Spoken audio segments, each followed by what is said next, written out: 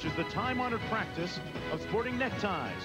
Through the years, neckties have emerged as one of the signatures of staunch Virginia football supporters, adorned like a badge of honor.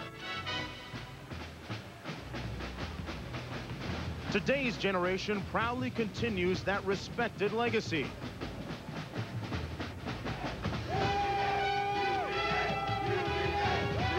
And in Scott Stadium, the urgency of today's game is forged on the faces of the combatants.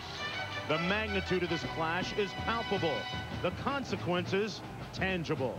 North Carolina comes to town for the 101st meeting against Virginia, the sixth longest rivalry in college football. Good afternoon, everybody. I'm Mark Jones. North Carolina has not been to a New Year's Day Bowl since 1950 when a guy named Choo Choo was leading the way. That's what's at stake for them today. As you look at the conference standings in the ACC, North Carolina, if they win out, has an opportunity to play on New Year's Day. But one small problem, John Spagnola. If you're North Carolina, this place has been a house of horrors. You haven't won here since 1981. Well, all that may be true, Mark, but this is a young North Carolina team. They don't care about that tradition of losing here in the past. They're building their own tradition, and that's to be a top 10 football team. That's where they are today, and that's where they intend to stay. Virginia, on the other hand, the players are not awestruck by Carolina's status in college football. They have a tradition of their own, and that's intercepting passes in 38 consecutive games, an all-time NCAA record. Today they have Chris Keldorf in their sights, and he has had this offense pointed in the right direction ever since the get-go. The JC transfer came to Chapel Hill as an unknown quantity, but ever since the Clemson game, he has run this offense impeccably. He has one of the best touchdown to interception ratios in all of college football. You know Virginia intends on picking a few off today. His boss is a Coach of the Year candidate. And guess who's in town, folks?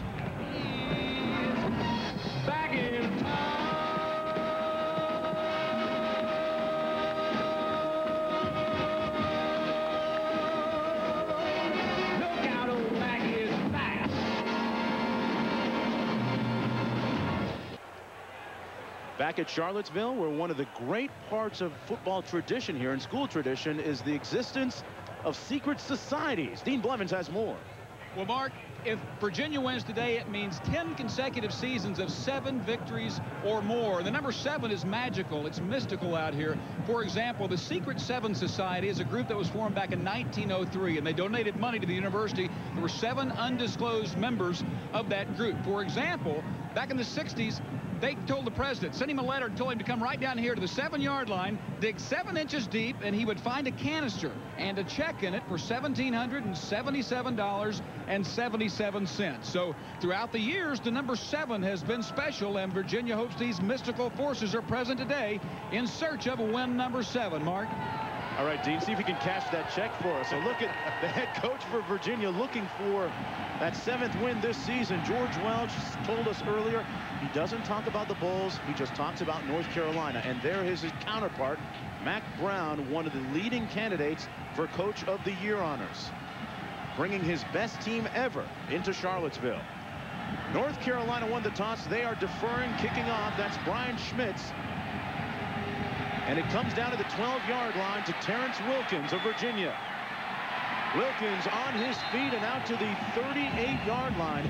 Good starting field position for the Virginia Cavaliers. The tackled made by Greg Harris. Now the starting quarterback for Virginia is Tim Sherman. You see his numbers there.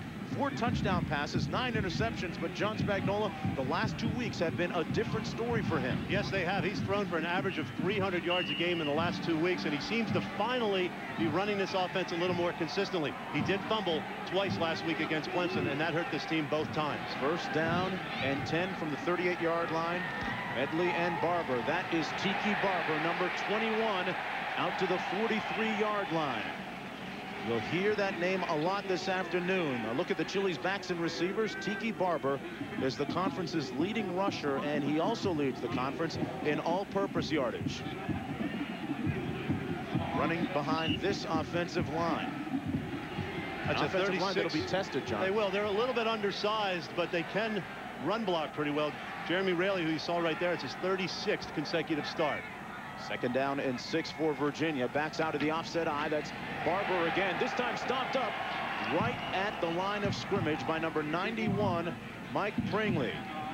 North Carolina sports the number one scoring defense in the nation. Ellis on the verge of setting a school record. Yeah, he's a half a sack away from the all-time mark set by Marcus Jones last year.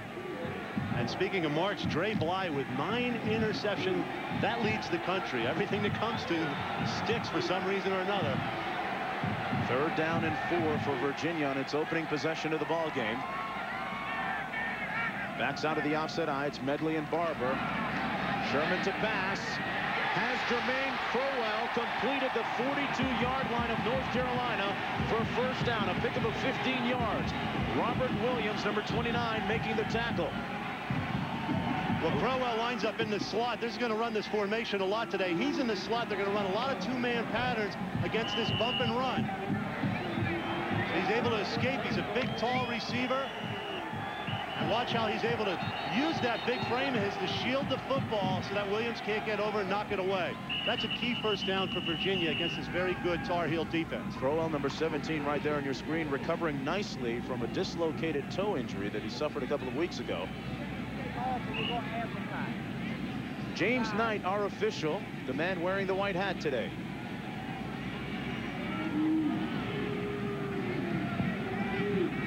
It is an all ACC officiating crew headed by James Knight. Panoramic view of Scott Stadium here in Charlottesville, Virginia. We're just underway in the first quarter. 13.30 to play. Ready, gentlemen? Virginia coming into this game with a record of 6 and 3 overall. They are 4 and 3 in conference play. They need a win today. Medley and Barber this time operating out of the eye. That's Barber in motion. They give it to the fullback Medley, and he busts one for a first down at the 29-yard line of North Carolina, where Omar Brown makes the tackle, but not before a 12-yard pickup. John Spagnola, they changed it up and gave it to the fullback. Yeah, they did, and they put Barber in motion. And if you get a chance to now hold it, let Barber go in motion. Watch two players go with Barber in motion. See there, there's one player there. Now there goes another player. So there goes Simmons and another player with him. That takes Simmons out of the middle, and that's how they're able to get the gain on that play. This time, John, they give it to Barber, who wrestles his way down to the 26-yard line, where the pile stops him up. Tiki Barber, the 5'10", 195-pound senior, first player in school history to rush for back-to-back 1,000-yard seasons at Virginia. Oh, he's an exceptional back, too. I mean, he blocks well. He catches the ball out of the backfield. He's developed into a great all-round receiver. Clemson shut him down last week, though, as he had eight straight games in which he had gained 100 yards, and that was broken last week.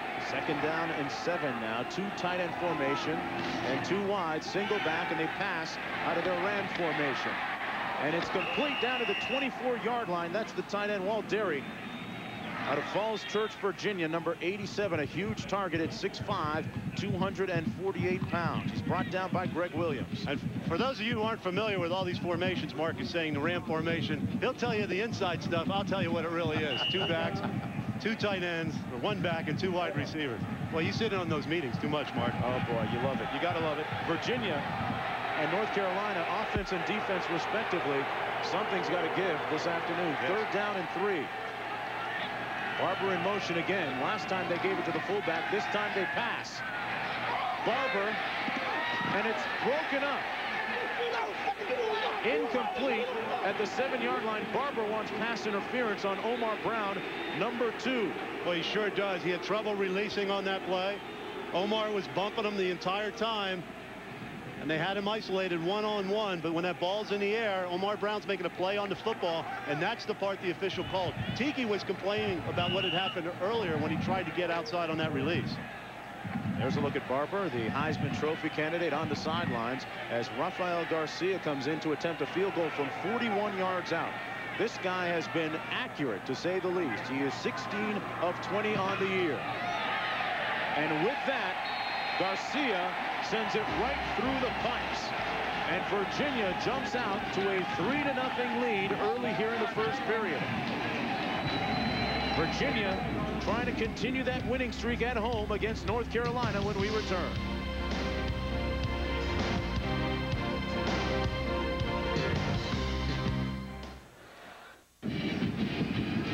Back in Charlottesville and a look at the rotunda here on the lawn.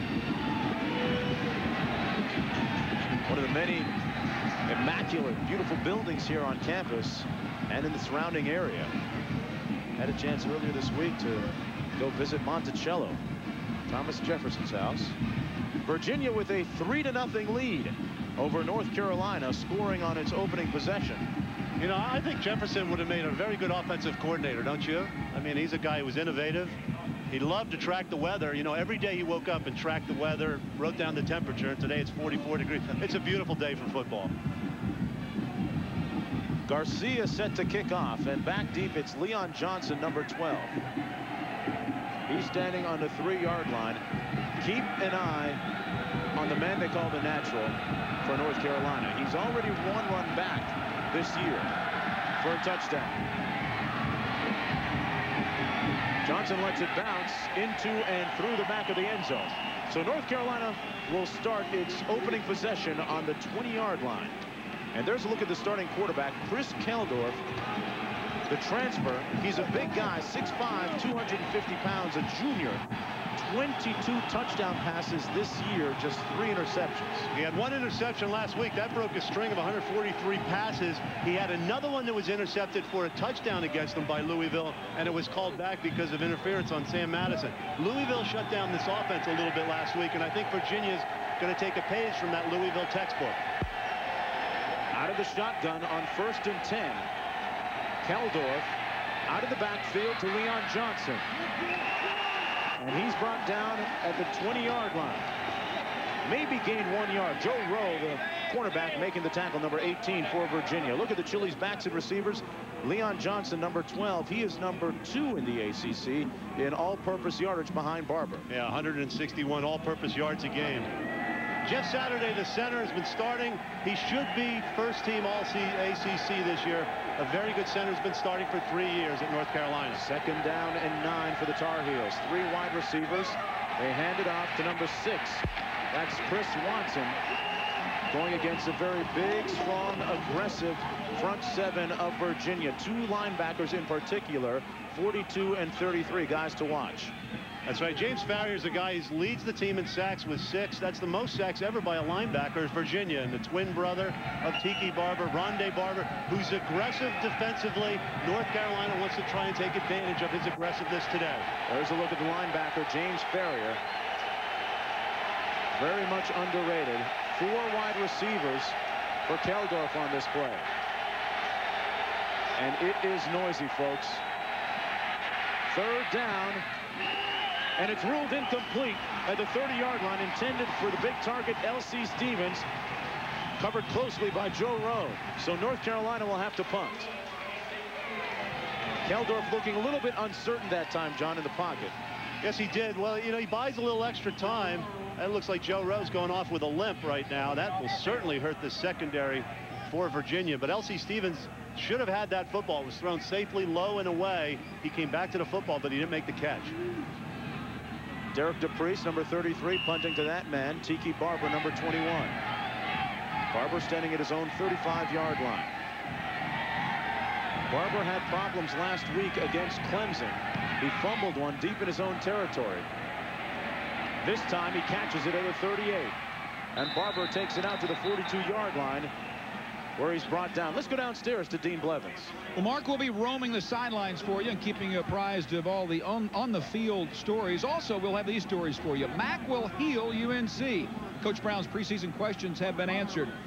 Turn, turn, turn. Not the bird song, showing my age there, but unbelievable turnover statistics for Carolina. The everything man, a story about Virginia right guard Jeremy Raley and defensive cavalier attitudes about an unorthodox yet effective system under defensive coordinator Rick Lantz. Mark. Yeah, it's been working, Dean. Right now, Virginia on offense, and that is number 21, Tiki Barber, out to the 48-yard line. Barber running nicely between the tackles, gaining about six yards on first down. He's tackled by number 96, Russell Davis. You get the impression so far, even though the Tar Heels are ranked number three in the nation against the rush, Virginia does not respect those statistics so far. They're going to try them, and they're going to prove to themselves that they can run the football against the Tar Heels. Second down and five. Two tights and two wides. Barber the single back. And it's Barber cutting back, and this time stuffed up right at the line of scrimmage. About four yards short of the first down. It'll be third down coming up. The tackle made by K. Mays, number 53.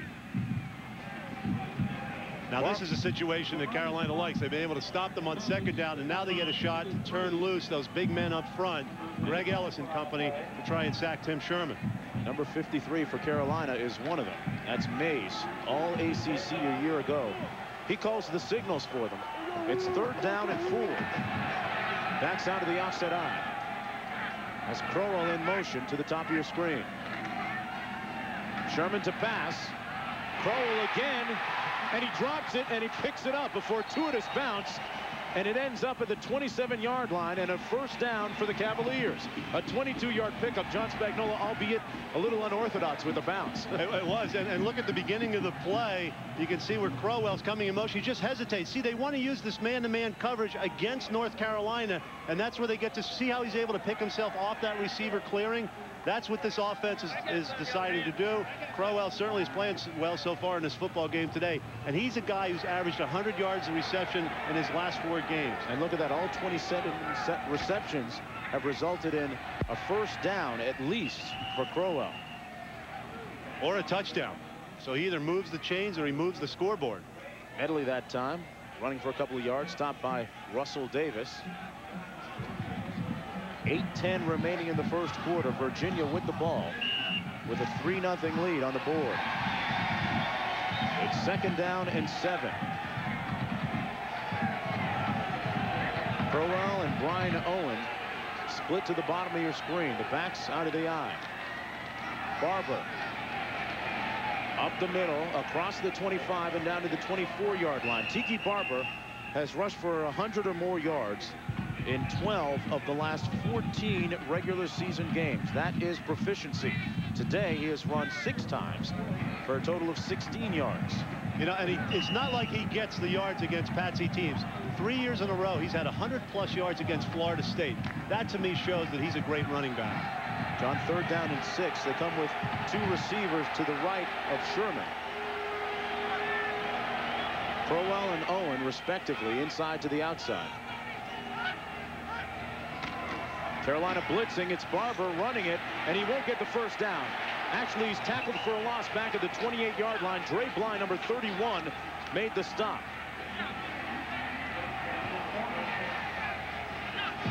That's just a great defensive stand by the Tar Heels. They came in, they played a zone behind what they are doing defensively, and they just, they actually seemed like they were playing the run the whole time. Last week they held Louisville to one yard rushing in that football game. It was a hard-fought game, too. And Louisville, no slouch. Garcia in to attempt his second field goal of the ball game. This one coming from 46 yards out. And this one is no good. Wide to the right. Garcia, a Lou Groza candidate, missing, and it remains three to nothing. We'll be right back. A look high above Scott Stadium. Near sellout crowd on hand as we are nestled in amongst the Blue Ridge Mountains. John, some of the pristine and bucolic scenes around here are breathtaking. Yeah, it's very pretty too, Mark. oh, you Yale guys. 3-0. Chris Keldorf in for his second series of the ball game. North Carolina had to punt it away on the first one, and this is Leon Johnson with a hard-earned three yards on first down. Well, next Saturday at noon Eastern, 11 a.m. Central Time on ABC Sports, our doubleheader begins. Big Ten action. Michigan goes to Columbus to take on Ohio State. Then regional action follows at 3.30 Eastern. Michigan State at Penn State.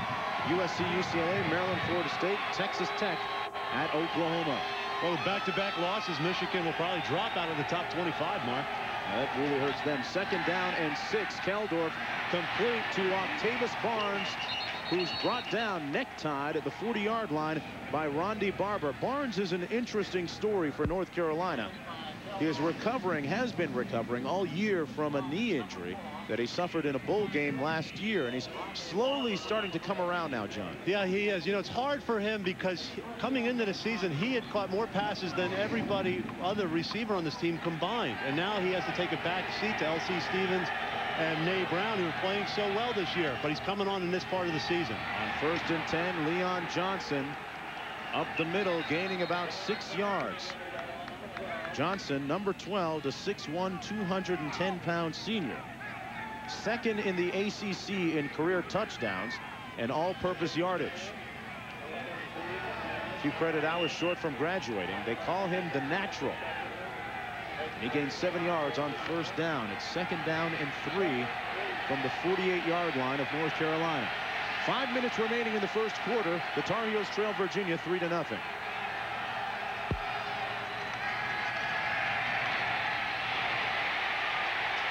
Keldorf brought down for a loss of one with the sack. Number 89, Tony Dingle, the 6'3 sophomore, 282 pounds, in on the sack. Tell you what, this is a classic case of a covered sack. Now, unlike North Carolina, Virginia relies primarily on a zone. They're a ball-hawking defense. Watch the players drop back in their zone defenses, and everybody that Keldorf's trying to go to is covered. He's a smart guy. He'll take the sack. He does not force the football. He has a good defense, and he's happy to punt the football, but he'll never try and turn it over. He's only thrown three interceptions all year. Third down and four for the Tar Heels. Keldorf sacked the second time. Back at the 40 by Jamie Sharper, number 33. Sharper cutting like a knife on that play. The team's leading tackler forcing North Carolina to punt. Boy, Sharper comes right on the outside, gets picked up and throws the fullback out of the way. What tenacity by Sharper. He threw Chris Watson right out of the way, and Watson's a big, tough fullback. That surprises me that he was able to run him over like that. Oh, John Sharper set a oh, new Virginia school record with his 33rd career sack. DePriest punting for the second time. Barber at the 10. He's got a wall. He got a good block. And Barber with a nice return out to the 31-yard line. He brings it back 22 yards the other way after that 51-yard punt. Ebenezer Ekuban in on the tackle. And in Charlottesville, all is well. They lead 3 to nothing.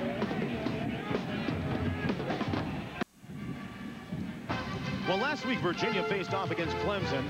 Early in the game, Raymond Priester, number 27, right there, takes off for 16 yards in the touchdown. Clemson led 14-3. And then in the fourth quarter, game still in the balance, Kelton Dunnican breaks this 54-yard touchdown run. No one was going to catch him. Clemson won it 24 to 16. And something to note about that game, John, is that because Virginia turned it over early, subsequently fell behind early, they couldn't play the way they wanted to. That's right. That defense gave up 263 yards rushing to Clemson last week. That's very uncharacteristic of them. Kirby and Barber working out of the offset eye. That's Tiki Barber on first and 10. Out to the 32-yard line. Barber last week rushed for just 82 yards against Clemson. That's the first time all season that he's rushed for less than 100 yards. That's Tiki, T-I-K-I, or, well, you pronounce it, John. And Ronde, his brother. Kiambu, Jamal Ronde. Come on. Buy a vowel for 250 bucks. By the way, Ronde is seven minutes older than his twin brother. And on that birthday note, happy birthday, Mark Jones. Oh, thank you very much. You're so kind. Second down and eight. And it's Barber again out to the 26-yard line. Kay Mays and Brian Simmons, number 41, in on the tackle for North Carolina. You get the feeling the Tar Heels have settled in a little bit defensively. I think that Virginia had them on their heels a little bit early with the mixture of running the football and passing it. Now they're getting into situations of third and five like they are now or greater where they can dictate things defensively. John Virginia has pretty much dominated the time of possession here in the first quarter. Third down and five. Crowell split to the close side of the field, the near side of the field. He's number 17. And it's Crowell, the intended target, but it's incomplete. Number 29, Robert Williams in on the coverage. And Virginia will have to punt. Robert Williams, 5'11 sophomore, doing a good job that time. Yeah, that was excellent coverage by Robert Williams. I mean, Crowell tried to put an out move on him, could not do it, could not shake himself free, and Sherman basically threw the football away.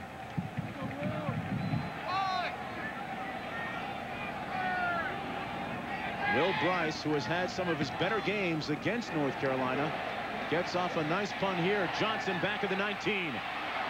And Johnson has a block. He took it inside as opposed to outside and is brought down at the 32-yard line. A 45-yard punt, 13 on the return. Medley making the tackle and a look at the mastery of Virginia over North Carolina of late, especially here. Going back to 1981, that's the last time the Tar Heels won here. But, you know, you talk to the Tar Heel coaches, Mack Brown and company, they say, you know, we just, both, most of the time here, we didn't have a good enough football team to win. It's that plain, it's that simple. Today, they feel they have a good enough team to win. This can be a very tough place to play. Those fans that we saw moments ago eschewing the ties. I don't know how much the ties have to do with it, but I know they can get after it here. Florida State, Danny Kanell last year when they were upset said it was a very difficult environment in which to play. Watson that time getting back to the line of scrimmage. It'll be second down and 10 to go. Look at the near sellout crowd here at Scott Stadium in Charlottesville. A game that has been highly anticipated, hotly debated for a number of weeks. These two teams recruit basically from the same player base, same area, same region. Keldorf, the flanker screen to Freddie Jones, the tight end that time, out over the 40 to the 41 yard line, about a yard shy of the first down, brought down by Shannon Taylor, number nine. You like Freddie Jones, don't you? Yeah, I do. It's interesting there. He's a guy who now has broken the tight end reception record here at North Carolina. Watch him line up. Usually when you run a pattern, you go this way. He goes this way and catches this ball. An interesting little mix. Look, it's a zone defense. There's plenty of cushion there. Why not take that kind of play? That's when a simple formation can give you a nice play. Under a minute to play in the first period. Third and short. Johnson puts his hat down, and it's going to be close. Leon Johnson got out near the 42-yard line, depending on the spot. He may or may not have the first down. Jamie Sharper, number 33, and Dwayne Ashman, number 94, made the tackle for the Cavaliers. And they're going to bring in the chains to measure. Mark, you talked about everything at stake here today. North Carolina sixth in the nation. They have an at-large bid alliance bid. And, of course, if they win this game and win next week in Duke which in all probability they will do. It's their highest ranking since Okay, 1983 when they were third. And Mack Brown talked a lot about recruiting and being a top 10 football team. And boy, there's just a whisker there.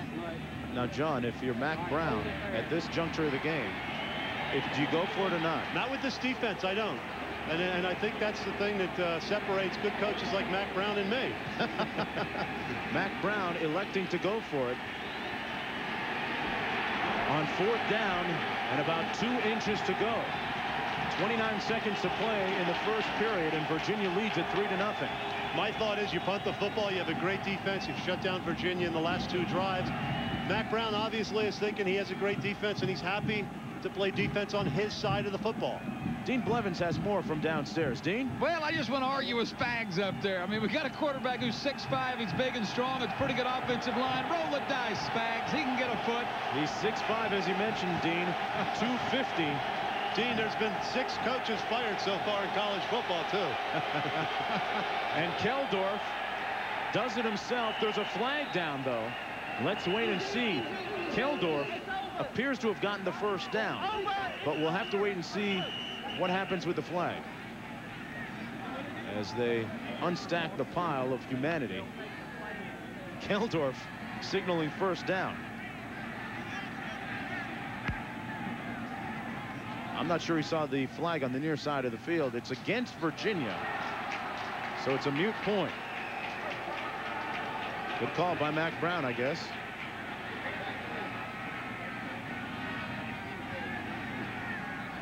Folks, today the MetLife Blimp Snoopy 1 has teamed up with ABC to provide an aerial view of the University of Virginia. The MetLife Blimp is constantly on the road, logging over 60,000 miles a year. John, that's about as much as you and I during a college football season, huh? That's right. Some great views up there today. We are in Monticello, and what a fabulous vista we have. Didn't we from all over, panoramic view? What a great countryside this is. Four of Thomas Jefferson's grandkids attended the University of Virginia. Five seconds to play in the period. First and 10. Keldorf fumbles. And Carolina gets a lucky bounce, and they recover it. A very tenuous way to end the first 15 minutes of play for the number six ranked Carolina Tar Heels. Freddie Jones pounced on the loose ball. It's three to nothing Virginia when we come back.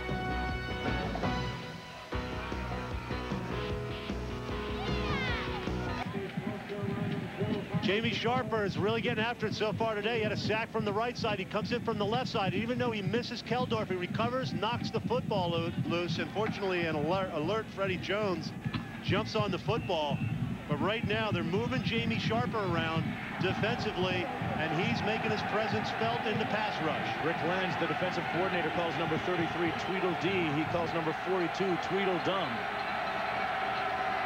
Not the outspoken type.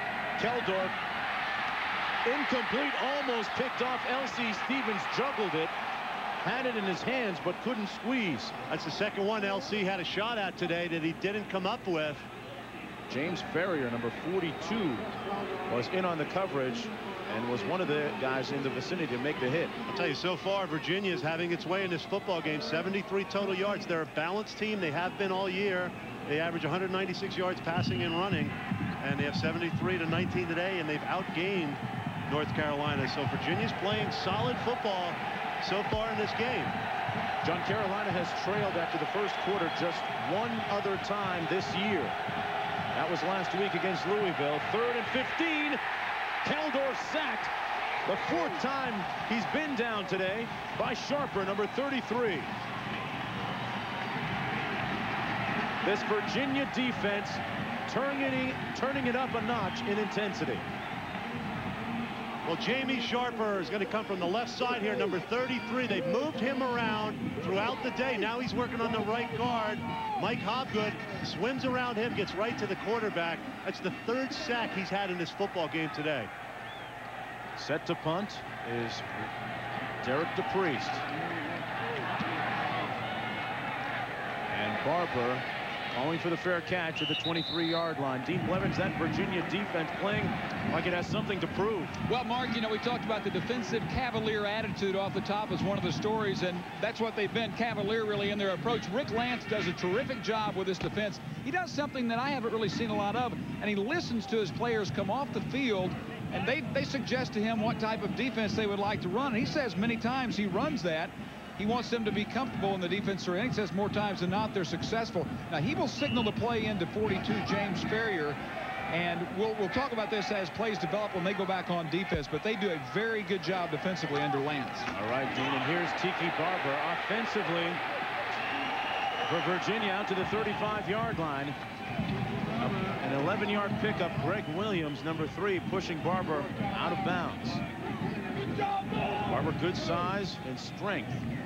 Has that nice body lean that the pros like so much, too. He does, and he's filled out over the years here, and that's why I think he's become an exceptional pro prospect. 10 rushes for 28 yards, enough to keep this defense off balance. Got a first down on that rush, though. But I like him. And what's interesting is they have another running back, Thomas Jones, who's just a freshman, who's in the exact same physical mold as Tiki Barber. The heir apparent. First down and 10. Two tight end formation. Sherman going up top for Crowell, and he has him, but it's batted away at the last moment. Number 29, Robert Williams, leads the team in pass breakups. Illustration Exhibit A. Yeah, that is his 17th pass broken up this year. It's a record for this football team. They have one corner who intercepts him. That's Dre Bly. And then Robert Williams, with good recovery speed, he stays close, he stays near, he positions his feet exceptionally well to be able to slip inside and bat that ball away. Williams, John, not a small guy at 5'11", but you saw the obvious size differential between him and Crowell. Yeah, but you saw the leaping ability of Williams, too, and that's what made that play. Roll at 6'4". It's second down and 10 for the Cavaliers. Barber trying to bounce it outside, and he fumbles it. Carolina got the ball. North Carolina will have possession at Virginia's 30-yard line. Vonnie Holliday made the hit, and number 94, Rick Terry, made the fumble recovery. I think this is what happened is Tre watch Trevor Burton right here. He gets knocked into Tiki Barber as he runs this play. The pulling guard comes around. Now he gets pushed into Tiki, and that's what dislodges the football. At least that disrupts him a little bit. And then the, and then the ball comes out. So that pressure by the defense, it looks like Vonnie Holliday is actually who knocked it out, but certainly Trevor Burton pulling on that play is what disrupted things. You talk about North Carolina's turnover margin. Number one in the nation, and look at those numbers. They've forced 30 turnovers. Watson and Johnson out of the I. First and 10, an opportunity for North Carolina. But that swarming Cavalier defense stuffs the run at the 31-yard line by Johnson. Jamie Sharper, again, number 33. I'll tell you an interesting story about Sharper. He's the team's top tackler and earlier this week, defensive coordinator Rick Lantz gave Sharper and Farrior an article that was written that said that the North Carolina linebackers were the best perhaps in the nation. He wanted to make sure that his players knew how some people out there felt. A little fuel for motivation. On second down and 11 now, Keldorf to Johnson. Johnson tackled at the 25-yard line by James Farrior. The other half of the bookend linebackers, number 42. Farrior, 6'2", 229, a senior, tied for the team lead with six sacks coming into the game. 12.54 to play now in the first half. A huge discrepancy, John, in the rushing yards. Minus six for North Carolina. They don't run the ball as much as they used to around here. But this shows the dominance of that Virginia defense so far. Third down and five Barnes in motion. And it's incomplete. Octavius Barnes hit immediately, and it's ruled incomplete. Again, number 33 on the loose. Jamie Sharper made the hit. Watch Jamie Sharper. I mean, we see him rushing the passer. We see him running down running back. Let's watch him play pass defense. Gets the defense in the right set. See, there's Octavius Barnes working on him, comes in, comes back out. He drives the football and knocks the thing loose. It hits on the ground, and Rondé Barber picks it up. A lot of people thought he had caught that ball in the air. In to attempt a field goal now. From 42 yards out, trying to tie the game, is Josh McGee. Just 6 of 13 on the year out of the hold of Derek DePriest. No problem. Now 7 of 14 on the year. He's batting 500, and this game is knotted at three apiece. We'll be right back. Dean Blevins, Rick Lantz has a democratic defensive system, huh? Well, he does, and uh, you know they have played extremely well. But one thing Rick Lantz knows is what every other coach in America knows, and it's turnovers kill you. You know, other than pure physical talent, turnovers remain the most critical issue in a football game. No surprise Carolina's ranked sixth. Take a look at these startling numbers. In 1995, this group forced 13 turnovers. They committed 31, a net minus uh, 18. This season, up to the minute now, they have forced 30 turnovers, only committed nine. That's a plus 21. That's a net difference the last two years of 39 turnovers. And uh, John Spagnola, you know what that means. That means a lot of points. It sure does. And they picked up 100 places. They were 101st in the country in turnover margin. They're first this year. That'll get you that 8-1 record, Dean. Yeah, coaches always like to point to that as the acid test of how successful a team is. Brian Schmitz with the kickoff. Back at the seven-yard line, it's Wilkins. Terrence Wilkins upended hard at the 29-yard line. Number 82. Crumpler making the tackle for North Carolina. 12-22 to play in the first half. We're tied at three. I'm Mark Jones along with John Spagnola and Dean Blevins. And this is a very meaningful game for a couple of teams with respect to the bowl picture. North Carolina coming in looking for one of the at-large Alliance Bowl bids. Virginia already with his sixth win looking for its seventh. Out of the backfield complete to Barber. You don't want him loose in the open field. He's pushed out of bounds by Kay Mays, and Sherman threw a bullet to Barber, complete for the first down and 11 yards. And he threw that ball much better than he did last week. Last week he had chances to throw to the right, and the ball was coming up short. We had talked about that. He had problems with his delivery. Watch how he closes his shoulders here, steps and throws the football so that he hits Barber right in stride. It's like a handoff. You get the ball to a running back in a swing pattern like that, hit him in the stomach, and he's going to get 10 yards. You throw it behind him, he's going to get tackled for maybe no gain. Look at the stoic George Welsh on the sidelines. Barber in motion on first and 10. They give it to the fullback, and he is rocked. Daryl Medley got rocked by Rick Terry, number 94. The sack leader last year for the Tar Heel defense A guy who won awards for conditioning and strength in the offseason. A great physical specimen at 6'4", 295. Second in the team in tackles for losses, too. So, you know, this defense likes to penetrate. They like to let those guys up front turn it loose, and they can do it because they have very good cover corners, and that was a question mark going into this season. You see so much of that now in college football, that pressure style defensively. Second and 12. They run the flanker screen. Wilkins still on his feet.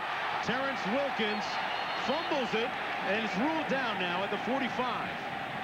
Terrence Wilkins picks up 17 yards for the first down. Omar Brown in on the tackle. Terrence Wilkins, remember, is a former running back. There's only one true receiver. He lines up here, and they use his running back abilities to set up this screen pass, knowing that with a block, and him and getting the football to him. He can run in traffic like that because running backs are used to that kind of thing. He does an excellent job of catching the football and weaving his way through for a first down. He's a guy who welcomed the position change, knowing that Tiki Barber would get most of the carries at the running back position. And he gets another one right here. Barber between the tackles down to the 43-yard line, picking up about two. Sherman, an accurate four of seven so far today, John Spagnola. Yes, he is. I mean, uh, he's a guy, he has trouble throwing to his right. Uh, you saw that pass to Wilkins. It was good to the left. But to the right, he has a tendency to keep that shoulder a little open and has difficulty because he's just arming the football out. See how he just armed that thing out? He closes the shoulder. He's much more accurate to the right. He told me he worked on that all week long after that Clemson game. Second down and eight. This time throwing to his left, and Crowell got rocked. Who? He got hit by Dre Bly. And it's surprising that Crowell got up. He's on his feet. Well, that's a big hit. Dre Bly came off his coverage and helped out against Crowell, hit that ball, and it popped right out. Crowell has to be hurting from that. He didn't rub it, though. That's the secret. When you get hit that hard. That ball was almost held long enough to be a completion, too. Third down and eight now for the Cavaliers at North Carolina's 44. Sherman passing to his right this time. Incomplete. Intended for Brian Owen, number 29. Robert Williams in on the coverage. I mean, that Robert Williams does a nice job of understanding down and distance. He's lined up here. There's the yard marker. He knows where Virginia has to go for a first down. Watch him just set. He comes out of that back pedal faster than Owen came out of his break in the pattern. I mean, that's just very good, smart defense, understanding where you are on the football field.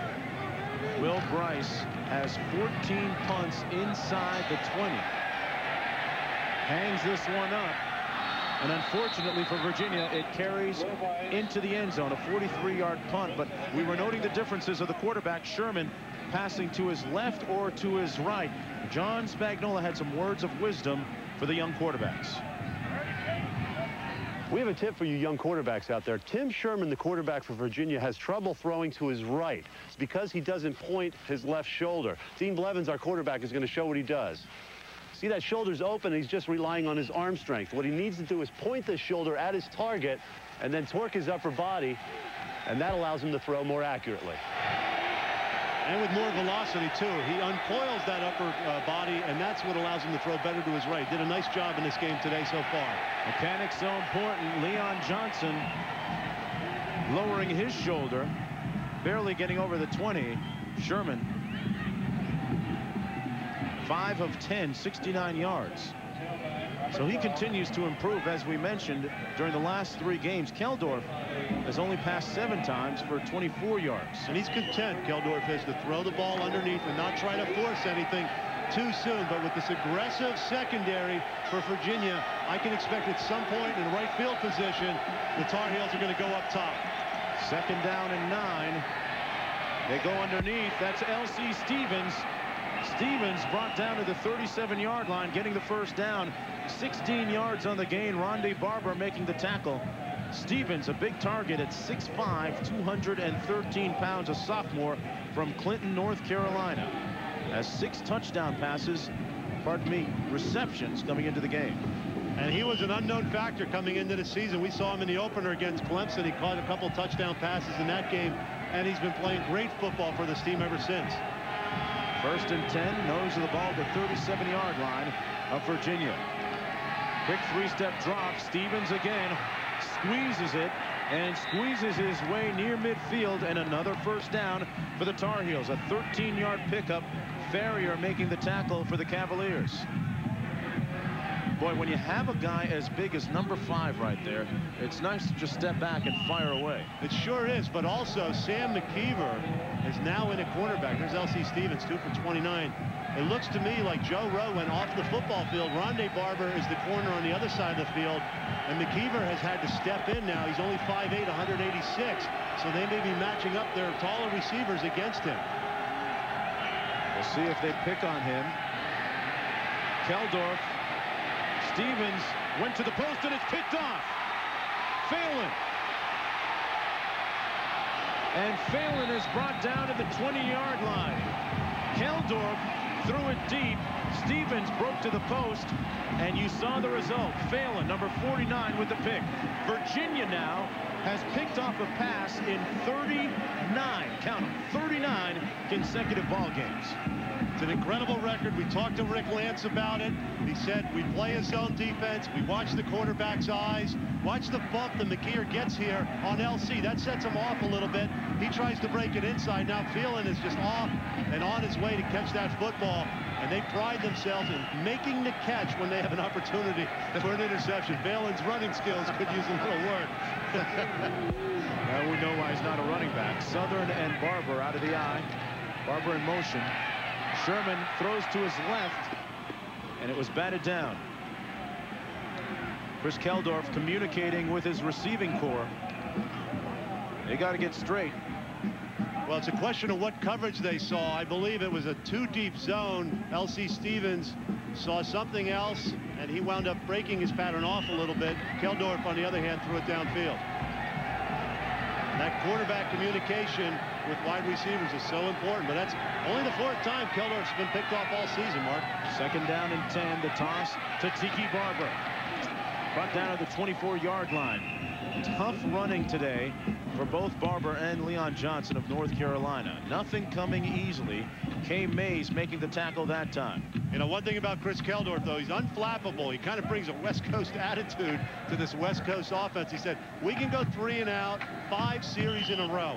I don't care. He said, I have reliance on my defense. I've got a good offensive team. I'm not going to force the football and make mistakes. And another thing about him, John, is that Keldorf often deflects the criticism away from his teammates and puts it on himself. 8-16 to play in the first half, third down and six. Barber tripped up nicely at the 24 by Vonnie Holliday, number 90, who caused a fumble on Virginia's first turnover. Folks, Monday night, don't miss one of the marquee matchups on our 96 schedule. Two of the most talented teams in the NFC head-to-head. -head. ABC's NFL Monday Night Football, Green Bay at Dallas, 9 Eastern, 6 Pacific. The Packers haven't won in Dallas, I think, six consecutive times now. It's been a long time coming, and if they want to have the best record in the NFC and have everybody go through Lambeau Field, which is not a pleasant place to play in the wintertime, they have to win that football game. Sound like you speak from experience, partner. I played there for a year at home. I hated it. Leon Johnson back at the 30 and brought down at the 35-yard line. A seven-yard return, 47-yard punt. Dwayne Stukes making the tackle. A lot to yell about. It's 3-3 when we come back.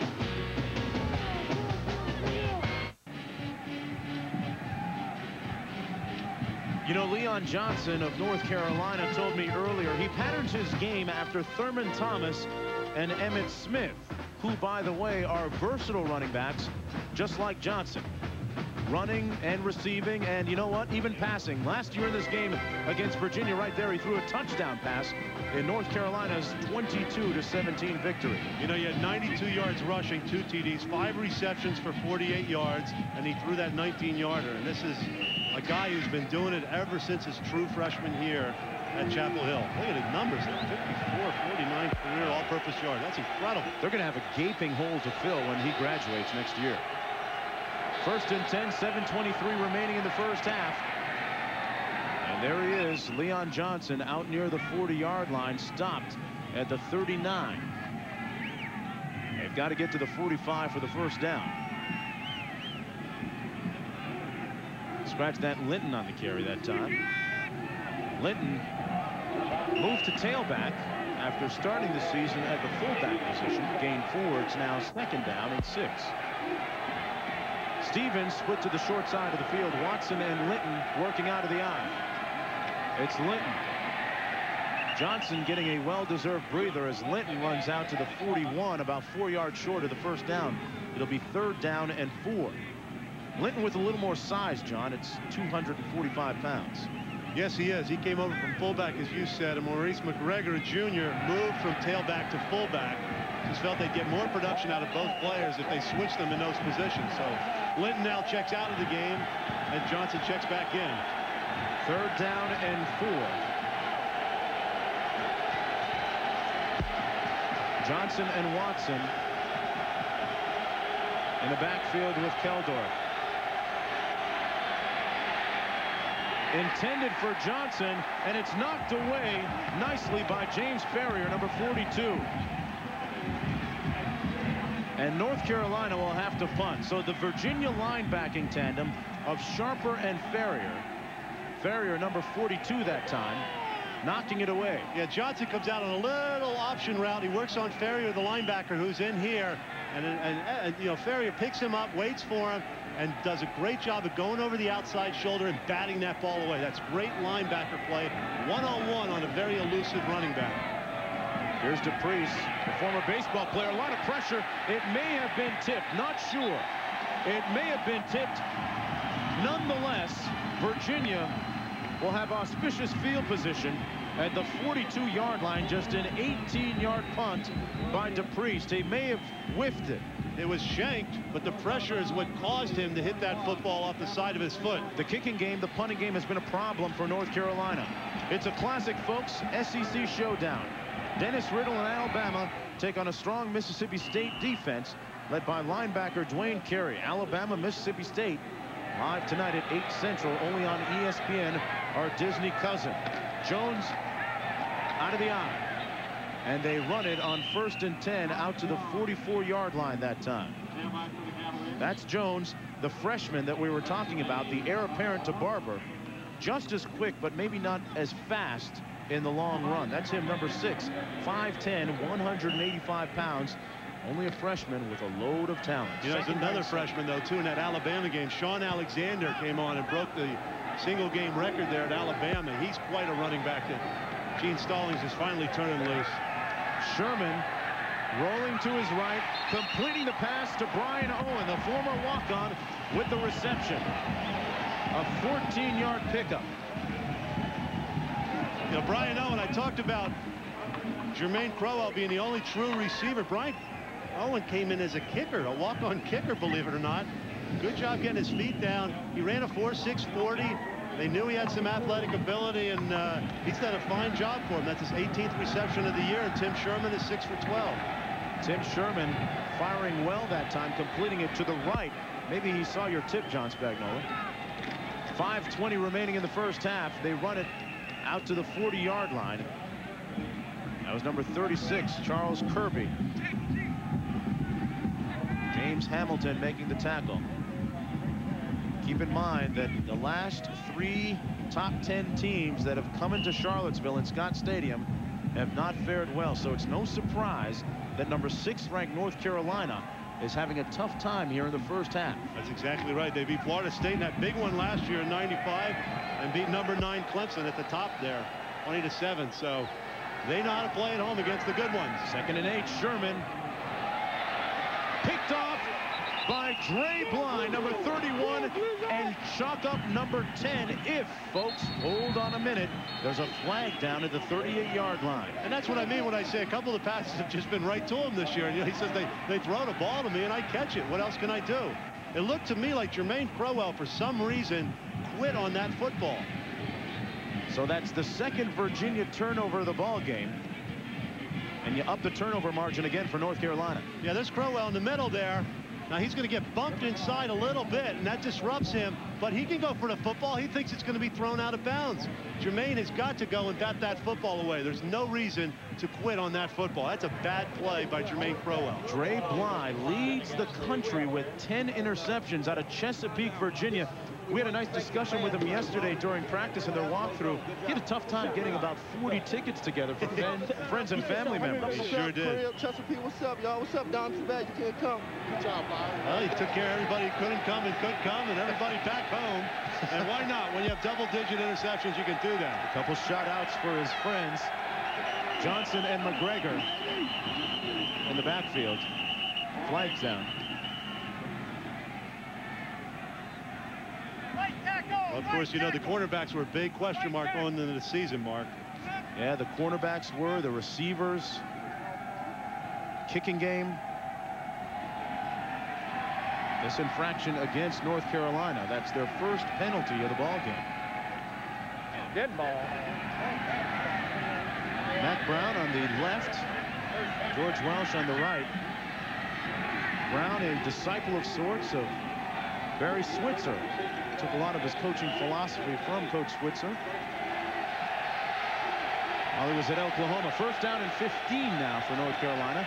440 remaining in the first half.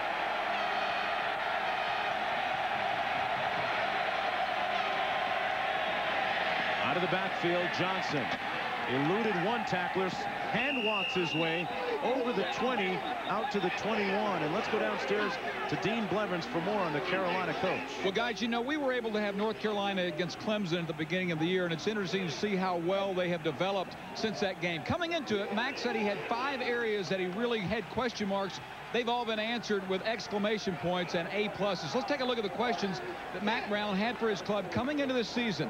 The first was his quarterback, and obviously Keldorf has been terrific, has great numbers, says the players really enjoy being around him as well. Second, wide receivers. Four players have 30 catches and a bonus with Octavius Barnes' recovery from that serious knee injury.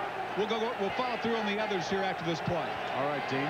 Get right back to you. It's second down and 10 right now. Watson and Johnson out of the backfield. Keldorf blitzed and brought down at the 14-yard line. The fifth sack of the afternoon for Virginia.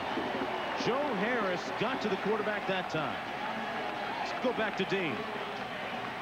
The other areas of concern for Mack Brown, the secondary, that was a major one. Right now, it's a major plus. Mack didn't know who would kick 30 minutes before the opener. And obviously now it's more than solid. And early games with Clemson, Syracuse, Georgia Tech, Florida State, you know, he didn't think his team would be 500 at this point. The report card does say A+, plus, and they are number six in the rankings, so they have done extremely well. Yeah, and he has done one of the outstanding jobs in coaching in the country this year, Dean. Thanks a lot. Third down and 17. You know, that last sack was caused by a zone blitz. Defensive lineman dropped out. Let's see if Virginia goes to it again. Keldorf eludes the pressure and short arms it. It's incomplete at the 30. A nice defensive sequence for the Cavalier defense that time. Sharper in on the coverage. Na Brown, the intended receiver. Right here, you're going to see defensive lineman Maurice Anderson, number 85. See him drop back. Now, he doesn't look like he belongs in the zone. He bumps into the referee, comes over, tries to cover. But when you bring linebackers and other players from the outside, this defense drops its tackles back to create problems with hot receivers. It's a great concept. It works in the pros, and Virginia's using it here in college. DePriest punting from his own three. He shanked the last one. This one goes high, and Barber calls for the fair catch right at the 50. A 37-yard punt, nothing on the return. Tied at three in the ACC when we come back. College football and ABC Sports brought to you by Pontiac and your local Pontiac dealer. We are driving excitement. And MetLife, get met. It pays. And right now, Virginia trying to get paid. They have the ball on the 50. And Snoopy, a big football fan. MetLife, Snoopy is enjoying today's football game between North Carolina and Virginia. Two MetLife blimps combined will attend over 70 sporting events and television specials this year. Hey, I bet that thing rides a lot better than the old Sopwith camel he used to use in World War One, flying around on top of that doghouse of his. Smoother ride. Trying to shoot down, who was it, the Red Baron? Yeah, exactly. There you go, backside of the iron, first and 10. Sherman out of the backfield. Barber escaped a missile that time. a scud at the 44. Mike Pringley made the tackle, but wow, Tiki Barber escaped with his life that time. Yeah, Greg Williams came flashing in. And I mean, for some reason, he closed his eyes. Tiki gave him a little whoop inside and was able to avoid getting crushed on that play. Check it out right at the end of this. Now, Okay, it's a little bit late. But boy, what a move by Tiki Barber. Out of necessity. Second and five, Barber again. Between the tackles stopped up at the 44-yard line. He'll be about four yards short of the first down. Third down coming up, John. One more look at that last one. Yeah, watch number three coming in. Closing in on Tiki Barber. I got him. No, you don't. I mean, boy, that's something you just can't teach running backs. That is a neat move on the inside. After concentrating on the football, that peripheral vision to make a move like that is something special. Let's look at the guy who barely missed, Greg Williams, number three. Sherman looking up at his teammates in the huddle on third down and four. Look at Barber's numbers. Mr. All-Purpose in the ACC. He leads the conference in that category. Now he's in motion. Barber with the catch, but he's short of the first down at the 43-yard line. The Carolina defense holding on third down. It'll be fourth coming up. Greg Williams making the tackle. Talked about Tiki Barber and his all-purpose yardage and his proficiency. He leads the conference. Johnson is number two. A lot of great running backs in this uh, conference, John. Two seniors who have been doing it for four years on a consistent basis in this football game today. It's just a pleasure to sit back and watch them play. Dre Bly standing on his own 10. Brice will try and hang this one inside the 20. He overpooched that one. He sure did. That kind of caught at the bottom of the leg. He, he had his toe up too high, I think. Went straight up in the air, and it's outside of the 20-yard line. So had he kicked that into the end zone, it would have been a lot better. Yeah, just an 18-yard punt for Brice. And the ball is spot on the 24-yard line. That almost took the blip down. It went so high in the air. 116 to play in the first half. 3-3, a defensive struggle. When you look at some of the defenses in this division, some great ones. Clemson has a good defense. Two great defenses here today. Florida State.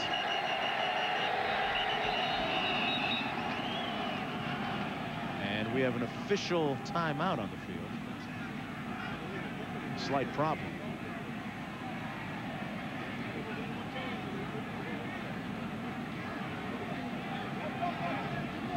Got it. As we wait for the chains to be set in their proper position, folks, tomorrow at 2.30 Eastern, 1.30 Central and Pacific, Greg Norman and Fred Couples hit the links on Shell's Wonderful World of Golf. At 4 Eastern, 3 Central and Pacific. Don't miss World Champions Michelle Kwan, Todd Eldredge, and special performances. Thrifty Car Rental Skate America International. That's tomorrow here on ABC Sports. That should be a great skating show, John. And speaking of skating, I mean, uh, we weren't too bad on the ice the other day here in Charlottesville. There's a nice little rink right next to our hotel. We went over there and made fools of ourselves for a little while with rented skates.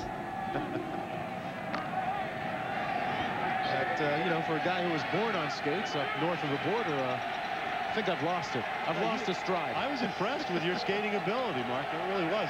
I need. I can't skate without a, a hockey stick in my hand. On second down and 10, the pass by Keldorf incomplete, intended for Octavius Barnes. It's third down and 10 now.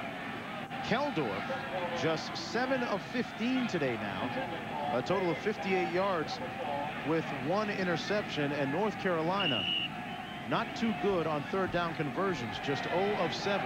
And they come into the season at over 50%, 52.9%. It's one of the top numbers in the country. So Virginia is shutting them down in all the things they're accustomed to doing. Keldorf. Oh. They blitz and they get to him at the 15. That's the sixth sack of the day. Jamie Sharper came in there and hit him hard. I don't know what this offense is going to do in adjustments at halftime, but one thing they have to do is find number 33 every time he lines up. Again, he comes in with a twist inside, and Leon Johnson doesn't pick him up. He has a clear shot right through to the football. That little twist inside occupied the guard, and he was able to come through. That's a new Virginia record, 37 sacks, and Sharper has his fourth today. The team has six today. And Louisville had sick all last week. You know, six six sacks against them in the entire game Louisville had. So certainly Virginia picked up a couple things from watching that Louisville game. It's like you said, John, they're going to have to account for number 33, Jamie Sharper. Came into the game with three sacks. Now has seven total on the season.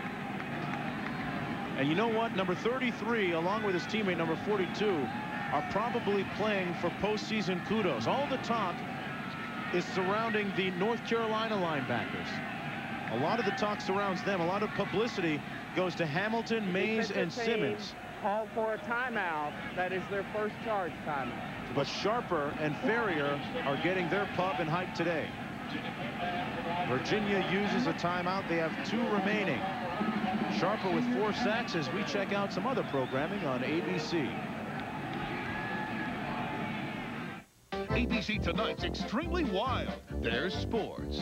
Then there's extreme sports. Watch your favorite comedians risk it all, like Home Improvement's Jonathan Taylor Thomas, Ellen's Jeremy Piven, and Roseanne's Sandra Bernhard. Join Jenny McCarthy for extreme comedy.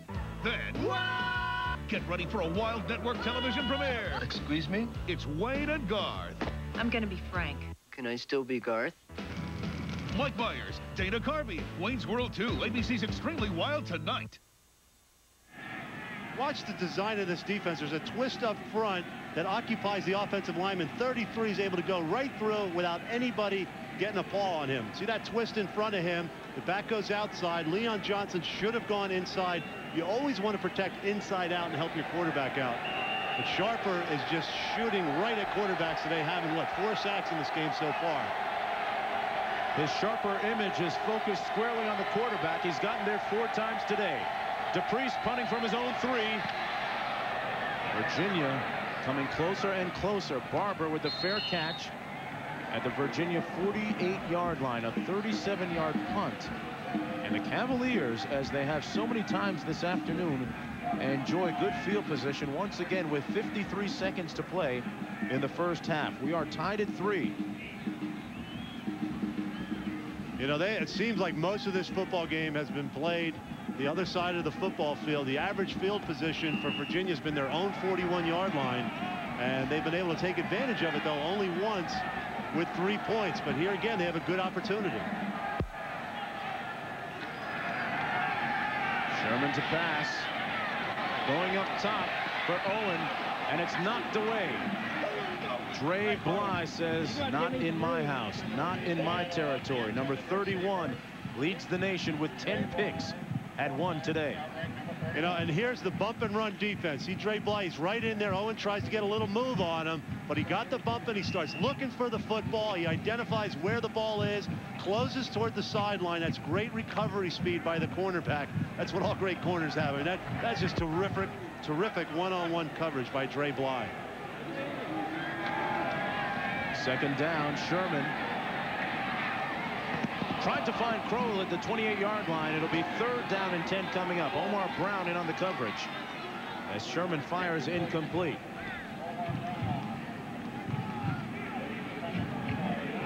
Folks, don't forget, coming up at halftime, Valvoline, halftime 96, John Saunders and Todd Blackledge with scores and highlights from a busy Saturday afternoon in college football across the country. Tom O'Brien on the sideline sent that play, and there he is, the red-headed man kneeling down on the left.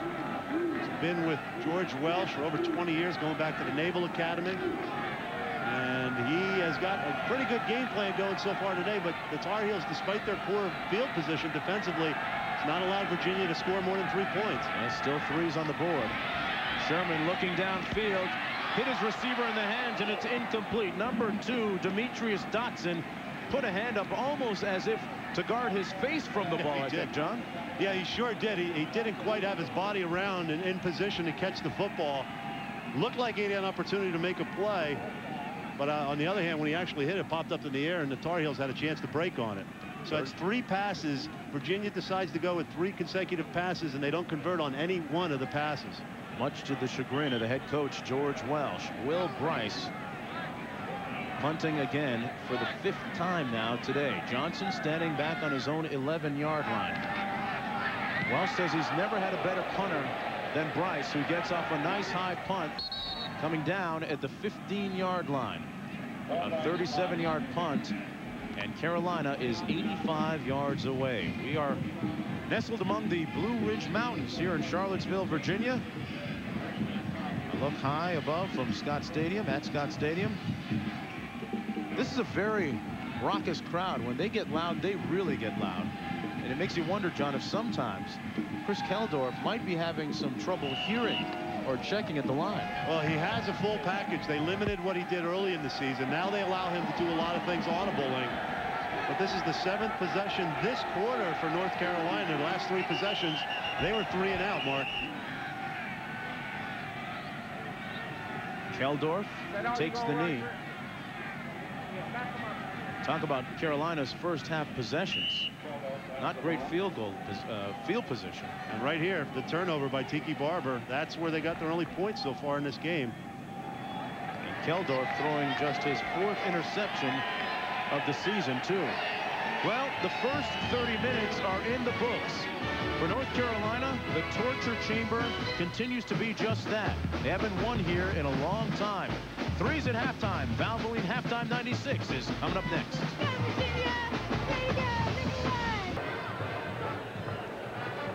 Tied at halftime, three apiece as the sun begins to set on the rolling hills of Charlottesville, Virginia.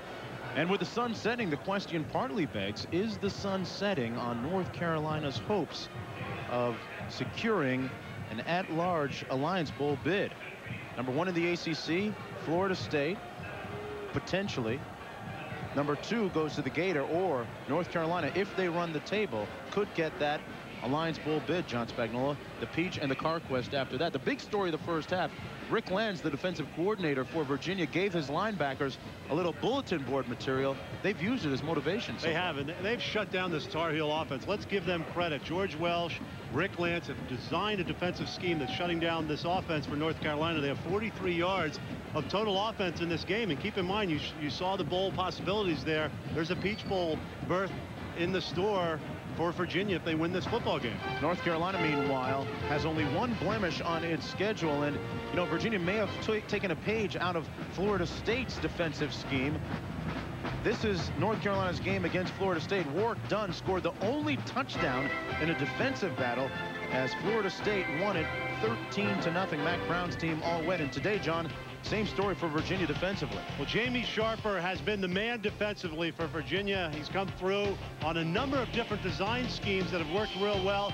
The defense has six sacks today. Sharper has four of those themselves.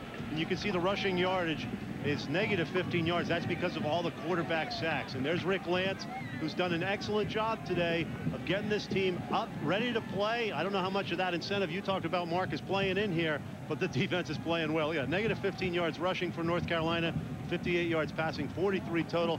That's the story in this game. Conversely, though, you know, even though Virginia's moved the football somewhat effectively, they've only been able to score three points. And there's a look at Rick Lantz, the defensive coordinator. One of his credos is that you measure quality by the price you pay for non-conformance. Well, so far his scheme and his players are conforming to the scheme, and they've got a lot of quality to show for it. Virginia kicking off.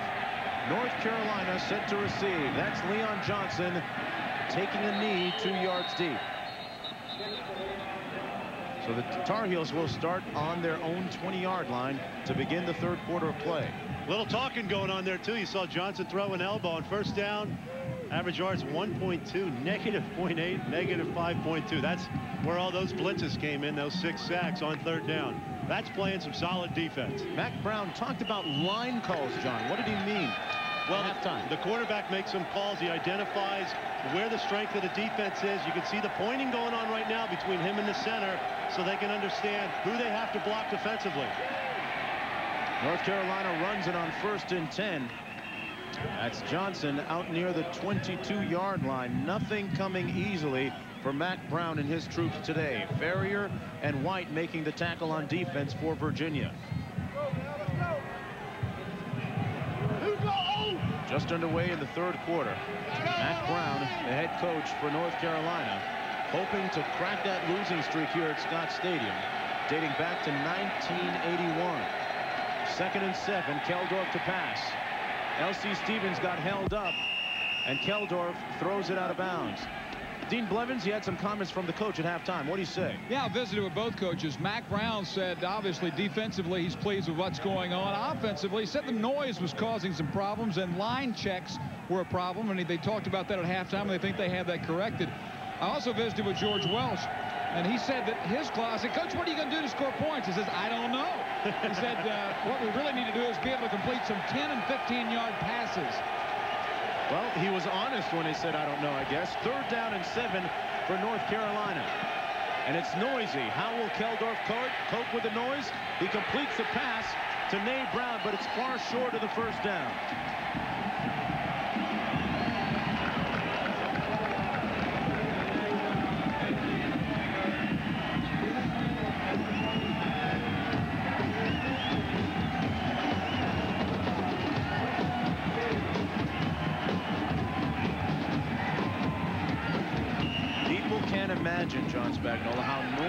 Down there on the field when you're the quarterback trying to audible. It gets so loud sometimes you feel it, you don't hear it. It seems to go right through your chest when a crowd gets into a football game like they are here today. DePriest punting for the seventh time today.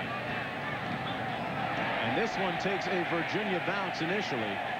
They'll mark it up at the 41-yard line. It's been the story of the day so far. Virginia with good field position when they start off when we come back. Welcome back where we have a barn burner. Virginia and North Carolina tied at three. And let's take a look at the top 10 in college football right now, according to Associated Press. And there you see tied for number six, the Tar Heels. Mack Brown wanting this to become also a football school. Well, Mack, good news for you. Here's the basketball rankings. The Tar Heels are number eight. And it's not as though he doesn't want them to be number one guys, but he's wanting it to become a football school, and it is becoming that Injuries, Pringley out defensive end for North Carolina. Rowe out, sprained ankle for Virginia. All right, Dana, we saw Rowe's replacement being worked on, too. Here's Barber cutting back against the grain down to the 44. Well, you know, Dean, just to follow up on that, Mack Brown knows as well as Dean Smith or anyone, if you want to win and stay in the top 10 and keep that high ranking, you got to win in adverse situations. You have to win on the road. And that's the challenge that Mack Brown put to his football team, not only before this game, but at halftime when he reminded them, hey, if you want to be top 10, you've got to win here in this difficult situation. George Welsh, of course, has different designs. See how he peaked when I called his name? Second down and eight. He's got good ears. He's a coach. Here's Barber.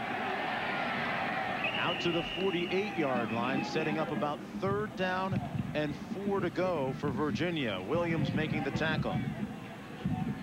Top 25 action today. Florida winning impressively in the end. Ohio State leading as we speak.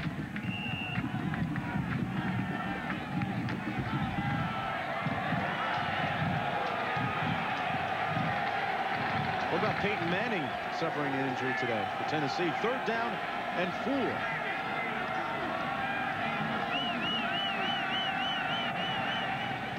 Top, intended for the big fella, and it's incomplete. And a late flag. They didn't call that interference. Sherman went for Crowell, and they'll get the interference call.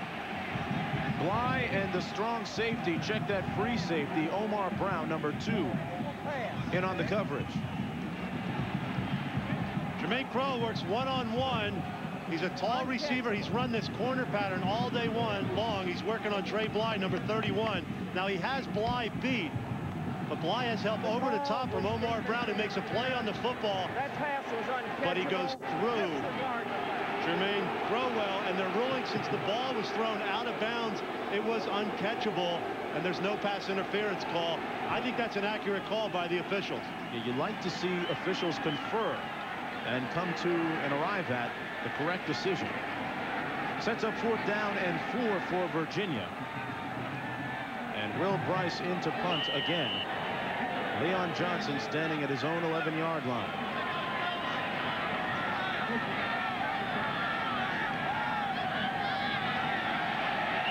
Little motion up front.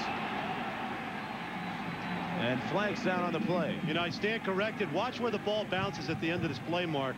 Brown goes over the top, frees it right there, stops. See where the ball bounces? I mean, that bounces there. He could have made that catch.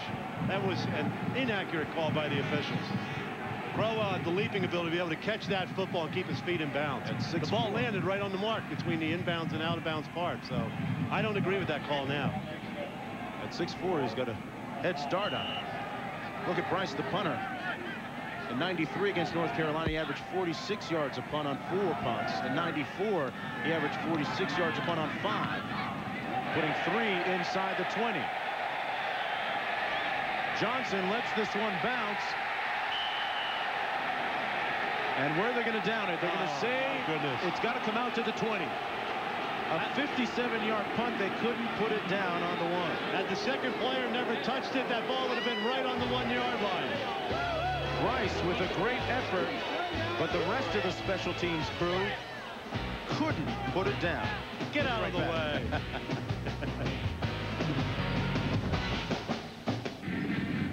College football on ABC Sports brought to you by Chevrolet Trucks, the most dependable, longest-lasting trucks on the road, and the United States Postal Service.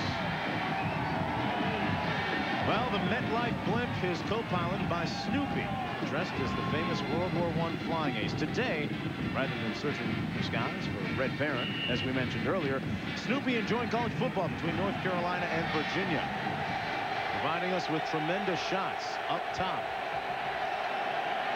Keldorf on first and 10 hands it off to his tailback. That's Johnson, who weaves his way out to the 23-yard line. 11.50 to play in the third quarter. In the last four possessions for Carolina offensively, it's been the Rockettes offense, John. That's one, two, three kick. and they've been dancing that tune for a while, too. Too long for Mack Brown. Second down and seven.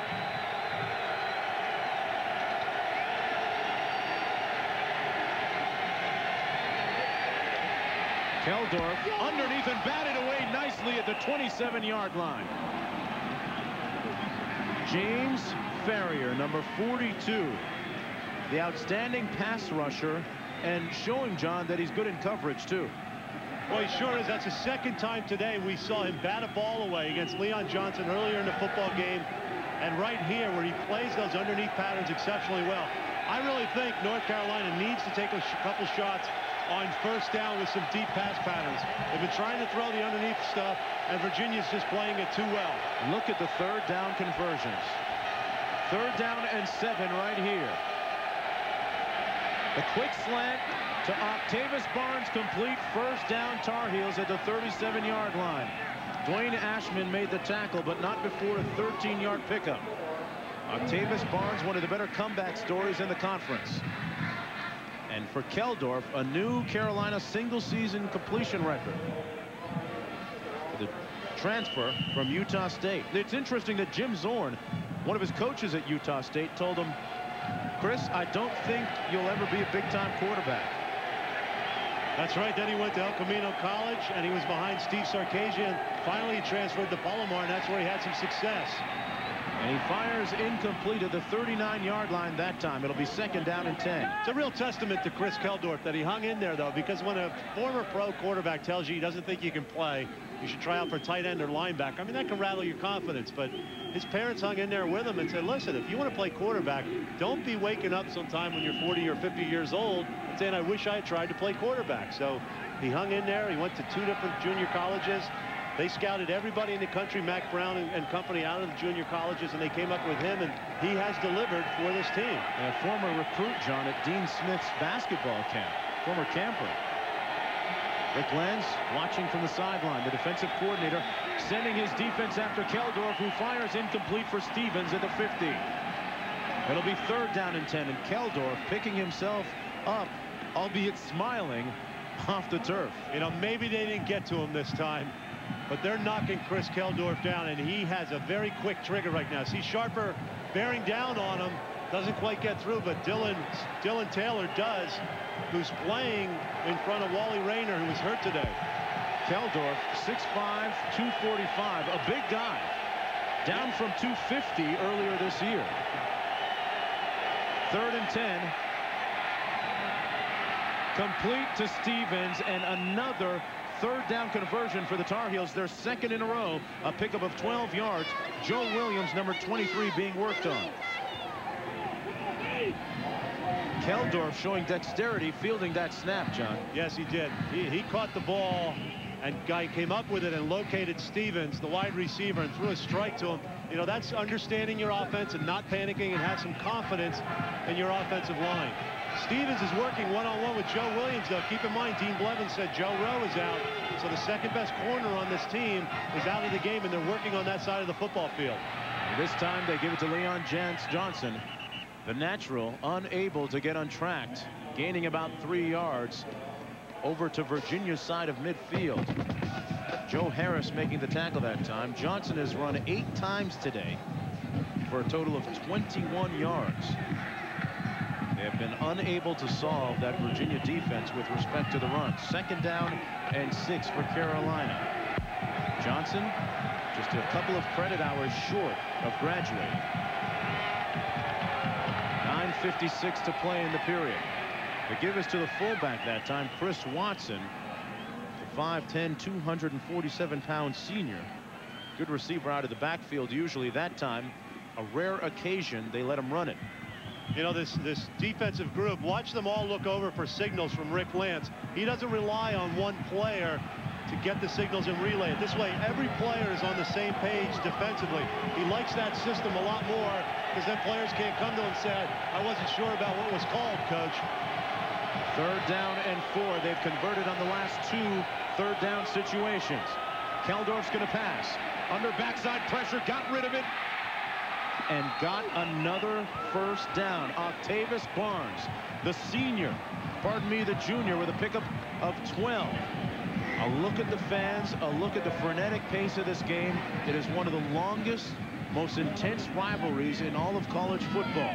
In fact, it is tied for the sixth longest rivalry in college football.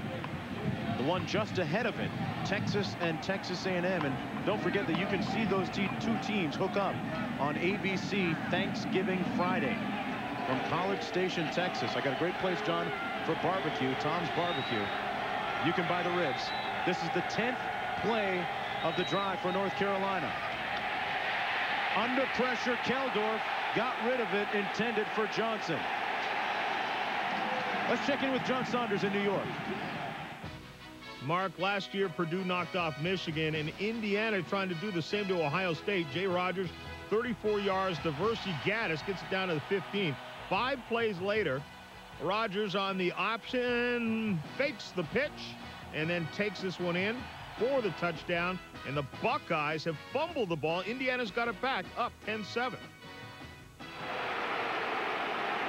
Wow. Man, you talk about sending Coach Bill Mallory off with a great going away present. I guess that's how you win in the Big Ten. You get fired, and then you have an upset. Jim Colletto last week at uh, Purdue, and Bill Mallory possibly this week at Indiana. That's incredible. Maybe Mack Brown should announce his resignation right now. Huh? that might work. Look at the current drive. The 11th play coming up. They picked up the flag on the last play. Second and 10 on the blitz. They catch them in the blitz for the screen. Johnson down to the 24-yard line. Another Carolina first down. Chopped up 11 yards of offense on that play. Poindexter making the stop. Well, when you have a defense that's turning it loose the way Virginia is today, this is a great call. You see the blitzing by James Farrior.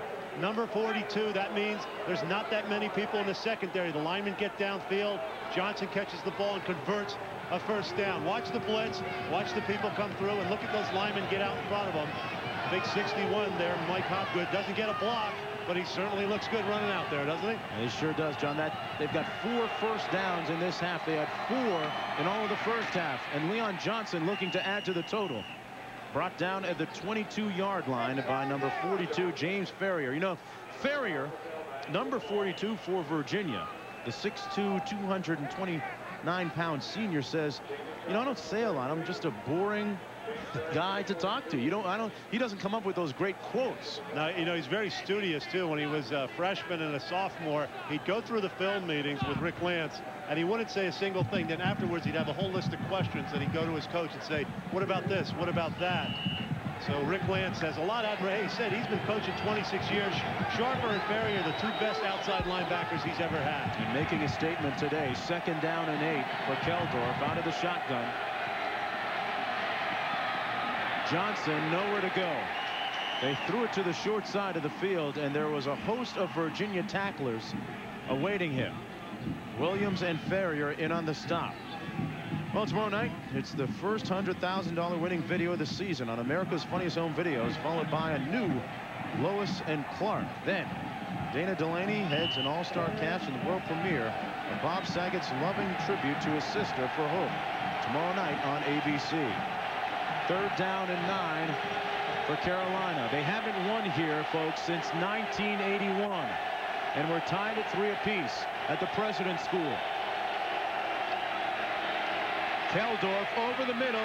Cooley finding his receiver at the 12-yard line. We'll have to wait for the spot. Not sure whether he got the first down. It appears that he does. You know, that's the third reception for Octavius Barnes on this drive. And Octavius who, as we know, is the leading receiver here two years, had a sit down with Mack Brown. Mack Brown saw that he was discouraged and disappointed in his performance. He sat down and said, listen, we're not disappointed in you at all. You're a guy we count on in this football team. It's great to see Barnes delivering, the veteran, delivering in this drive. John first down and 10, and this is another veteran, the senior. Leon Johnson down to the 11-yard line, picking up about three on the play. It'll be second down.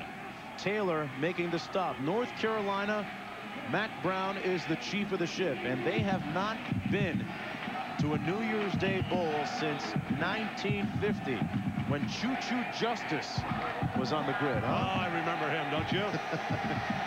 Second down and seven.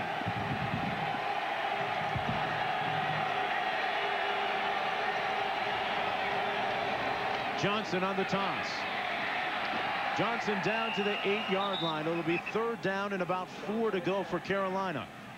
On each of the previous third down situations, they've been able to convert four times.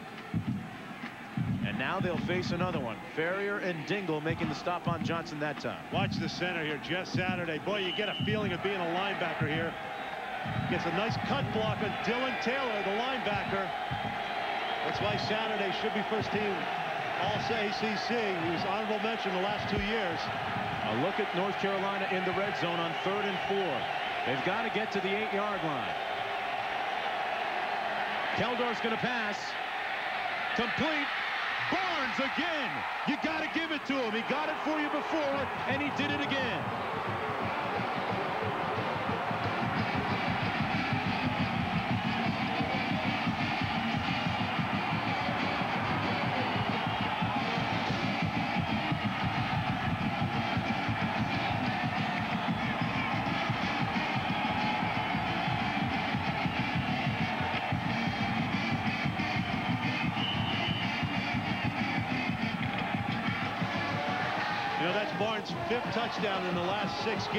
Starting to come on for this Carolina offense, and boy, did he deliver on that drive.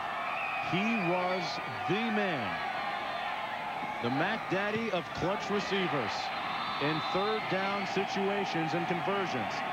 Capping a 17-play, 80-yard drive using 6.32 on the clock. Chris Keldorf take the bow. Carolina leads 10-3 when we return.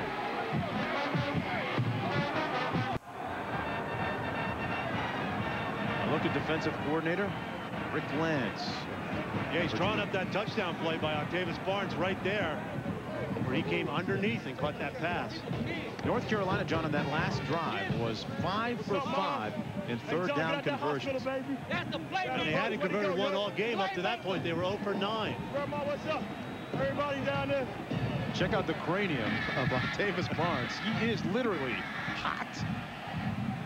Brian Schmitz. He's on fire. Schmitz with the kickoff. Wilkins and Jones back deep. Comes down to one of the up men. Oh, Taylor with some moves. Shannon Taylor out to the 30-yard line. Love you, babe. Candace. One of the better comeback stories in all of college football, Octavius Barnes.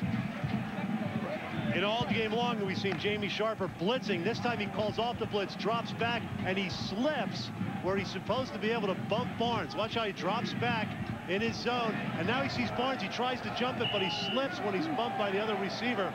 Barnes goes underneath that zone and scores the touchdown. Boy, did they nickel and dime Virginia to death. 17 plays in all. And now it's Sherman's turn. Takes it himself. He's elusive. That's one of the concerns of the Carolina defensive coaches. Out of the pocket, he can do some damage. Gained about four on that play. See, now the reason Sharper slips is he gets bumped off by the tight end Freddie Jones, who just gets a piece of him right there. That's all it takes, but it keeps him from driving Barnes, and that's not exactly a pick, but it's ticky tack. I mean, it's right in, right, right on the edge there. Oh, pick's a four-letter word. You can't say that. Second down and six. Barber out near the first down, about a yard short at the 39-yard line with 4.37 to play now in the third quarter. Virginia trailing North Carolina 10 to 3. Terry and Brown in on the tackle that time. Look at Tiki Barber. Leading rusher coming into this game in the ACC. Third down and one. Lamar Brown, the strong safety. One yard to go. Barber, not sure he got there. It's going to be close. It's going to be extremely close. I think he got the spot. By judging from the line judge, he's got his right foot down. It's just past that 40-yard line. Surprised they didn't run behind Jeremy Raley there, the big left offensive guard. They went instead on the right side between behind Trevor Britton, the right guard. One of the interesting stories on that offensive line, right, Dean Blevins? Yeah, you know, you mentioned Jeremy Raley. This is the everything man. This guy is in uh, terrific condition, but he's wearing down. His offensive coordinator said he, he maintains such a busy schedule. He comes and meets with his offensive coordinator at 7.30 every morning. He is a volunteer teacher at an elementary school from 8 until 3, and then he has football practice from 3.30 until 5.30 or 6, and then he has classes at night. He's married on top of all of that. He's an honor student, and he's been uh, awarded many times for his service to the community and just an outstanding guy. But he's wearing down as the season goes along. Hopefully he won't be wearing down today for Virginia fans. Yeah, he probably needs about 36 hours in a day to get all that done.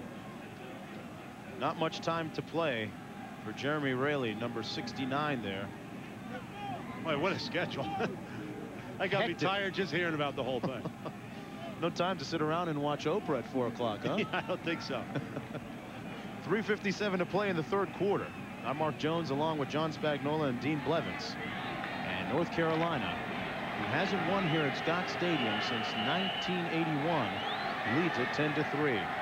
Charles Kirby was the injured player on that last play.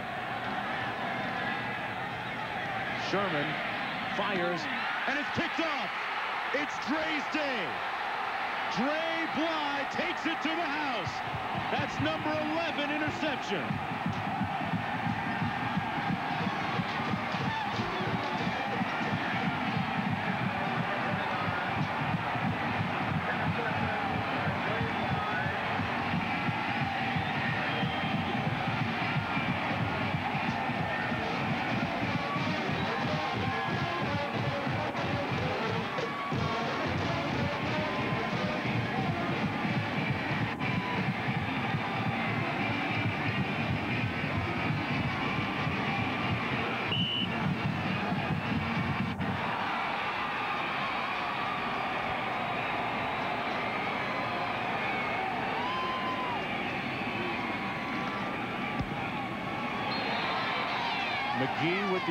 Point.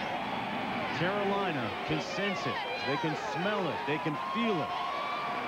In line for potentially an at-large Alliance Bowl bid. And Dre Bly just set an ACC record now with 11 interceptions in one season. Dre Bly's at the bottom of the screen playing inside. Now, this is a zone technique. He's going to play an outside technique, one-on-one. with Brian Owen here. See, he's got inside. Now, watch him. Watch the quarterback, and he plants, and he tries on that football. Owen's got to come back to the football more than he did. Dre Bly beat him to the interception point and takes it in for the touchdown. That's a huge score for the Tar Heels. Dre Bly was telling us at practice yesterday how he's friends with a lot of his counterparts on the other side of the field for Virginia. Ran ran into them a lot this summer on the beaches Yeah, of Virginia. And, uh, nobody kicks sand into his face, John Spagnola. Not at all, but he can't wait to get to the beach next year. Do a little flexing. 11 interceptions. That last one damaging to Virginia. You know, now Carolina can take a lot more chances defensively. Now they're in the kind of football game where they're comfortable. They were only behind for the third time all season today when they were down 3 nothing. They got back, and now they have a comfortable two point or two touchdown lead. That's big for this defense. Schmitz kicking off. Again, it comes down to the same up man, Taylor, who brings it out over the 30 to the 33-yard line. And a silencer has been put on this crowd here at Virginia. Coming up next week, a doubleheader on ABC, beginning with Michigan, number 16. They should fall, though, with that loss today to Penn State. And number two, Ohio State, which trails right now to Purdue. And the second half of the double dip, Penn State, Michigan State, will be in Los Angeles with the Battle of L.A., Maryland at Florida State, and Texas Tech taking on Oklahoma. What a great job John Blake has done this year. Don't forget to call your cable operator for the games available in your area. Right now we have a new quarterback, Aaron Brooks, a 6'3", 195-pound sophomore. He was edged out by Sherman in spring ball for the job, and he tosses it to Barber. Bly misses the tackle. And Barber has the first down at the 48-yard line. A 16-yard pickup, his longest of the afternoon. And there's a look at the new quarterback. K. Mays made the stop. Look at his 96 numbers. Hasn't seen a lot of action. For a while, he's being alternated in every football game, but as of late, Tim Sherman's been going from beginning to end in the game. Now, I can understand pulling Tim Sherman, but I don't fault him entirely for that interception return. The receiver has to come back to the football and help his quarterback out. You see the time remaining in the third quarter. Brooks throwing, and it's incomplete. Working away from Dre Bly that time, trying to pick on Robert Williams to no avail. Terrence Wilkins was the intended target. Brooks a little bit different in stature from his predecessor, Tim Sherman. Brooks stands 6'3", a little more rangy, a little more lanky. Yeah, he's a good athlete, too. He was a high school McDonald's All-American basketball team uh, player, so you know that he has some ability to move and has some speed. And, you know, I just think that he's the guy who's going to inherit the starting quarterback position. He didn't get it this year, but he's got two more years ahead of him, maybe starting right now for the rest of his career. Crowell in motion. Brooks passing complete to Crowell. His forward progress being marked at the 44-yard line. Robert Williams pushing him out of bounds. At the conclusion of today's game, we'll select a Chevrolet Most Valuable Player of the Game from each team. To date, Chevrolet has awarded nearly $6 million to the scholarship funds of America's colleges and universities. 2.45 remaining in the third quarter. And North Carolina leads Virginia 17 to 3. North Carolina hasn't won here since 1981. It's third down and three.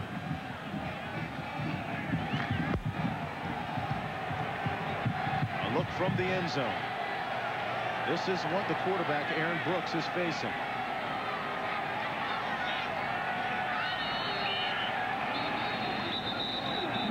And time running out on the clock.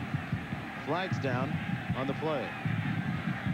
Dre Bly making the big play just moments ago with an interception, his 11th of the season for a touchdown. Bly with many people in attendance watching him perform today. You know the guy's got skills because he was able to round up some 40 tickets for friends and family. Boy, what a show he's putting on for everybody today. Third down and eight for Virginia after the infraction.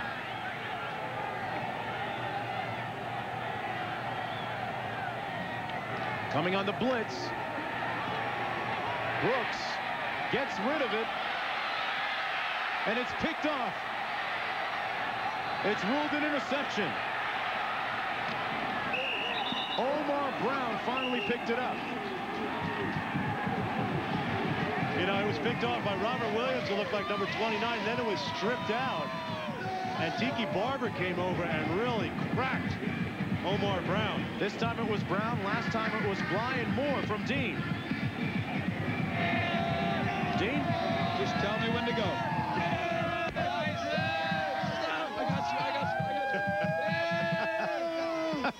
I see a red light, so I think I'll start talking. I'm sitting here with some fanatic fans from North Carolina. Dre Bly's mother and father. This is Donald and Gloria. And could you be prouder of your son? Oh, Lord, we, oh, we couldn't be any proud of him. And we just thank God for giving us a son like Dre. well, they're happy that Dre is a good young man. These guys are educators. Both of the Blys are, are uh, teachers, and you guys, you guys uh, keep a, keep an eye on his grades as well. I understand. First thing I asked him when I called, how are the books? And then I asked him about football.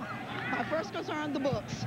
Well, Donald, you got uh, you got a bunch of friends and family here because you guys are from Chesapeake, Virginia. Yes, we are. We are from Chesapeake. My brothers and uh, two of my sisters are here, and cousins and neighbors. Okay, Gloria, you're the one that's vivacious. You're you're the one that has some energy. Get people excited now that he's had a big game, will you?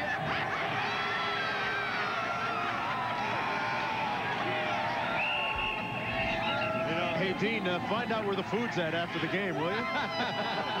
you know, we talked to we talked to Dre Bly before the game yesterday on the walkthrough, and he uh, we asked him if his mother was going to be at the game and when she'd be there, and he said, "Oh, she's the first one here. Don't worry about that. She'll be jumping around before the game. You can't she's miss the first one there. You can't miss her." Meanwhile, Keldorf has really picked up the pace. Seven for his last 11 and a touchdown. In stark contrast to his first 10. Less than a minute to play in the third quarter. Carolina leading by two converted touchdowns. Keldorf on first and 10. Incomplete to L.C. Stevens. And, you know, Stevens has struggled today, John. He's dropped at least two catchable balls. Joe Williams on the coverage. That's that right. I actually have him for three that he's dropped. He dropped one very early in the first drive. This one hits him right in the numbers, and he just allows the ball to bounce off his stomach instead of catching with his hand. Stevens raises turkeys on his farm in Clinton, South Carolina. North right at the end, look how the thing just pops right off there, and that's that's a gobble gobble catch right there. he's got a couple of turkeys he's proud of, Charlotte and Charles, but I don't know if they're going to make it through Thanksgiving. We'll wait and see. Keldorf, incomplete, intended for Barnes. They might rule that a fumble, Mark. They are. They will. Boy, that's a little surprising. From our vantage point, it didn't appear as if he had it. Phelan made the recovery of the Barnes fumble. Uh, Octavius Barnes comes in the slant, and it's been working a lot today. Comes right across the middle. And let's see if he gets his feet down, gets control of this football. One, two, yeah, oh yeah, absolutely. As he's putting the ball away, that ball slipped right out. It really wasn't hit out as much as he let it slip out as he was putting it away. The recovery was made by Farrior. First and 10, Tiki Barber. It's been that type of afternoon. He had rushed for over 100 yards in 12 of the last 14 regular season games. Today, he's rushed 21 times, the number he's wearing, for a total of 60 yards, just over three yards per carry. Tiki Barber, not only an outstanding running back, an outstanding student like his twin brother, Ronde. As time now winds down on on the third quarter of play here in Charlottesville, Virginia at Scott Stadium. Virginia with the ball, second down and nine. And that's where we will end things in the third period. North Carolina looking to improve to 9 and 1 overall. They lead 17 to 3. We'll return with more action between North Carolina and Virginia after this message and a word from our ABC stations. Well, it's a half moon with 15 minutes to play. Let's go downstairs to Dean Blevins. Well, guys, I fell out of the stands with the Bly family into the the, the, the, bench here with the North Carolina, and you'll see the players waving goodbye. And what they're doing is holding four fingers up, saying the fourth quarter is ours. And it has been. Mack Brown takes pride in the fact that he emphasizes the fourth quarter and that he thinks his players are in better better condition than the competition. The numbers support that theory. North Carolina has outscored its opponents 75 to 10 in the fourth quarter this season. That was a look at Jeff Mad Dog Madden, the strength and conditioning coach at North Carolina. And here's the pass on Brooks. And Brooks downfield intended for Brian Owen. Guess who was covering him? I'll give you one guess. Dre Bly, number 31. He has been all over the field today. It'll be third down and nine now for Virginia. Dre Bly with a couple of interceptions. Now has 11 on the season. Nose of the ball at the 45-yard line. And just think that at the beginning of the season, the cornerbacks were one of the huge question marks for Carolina.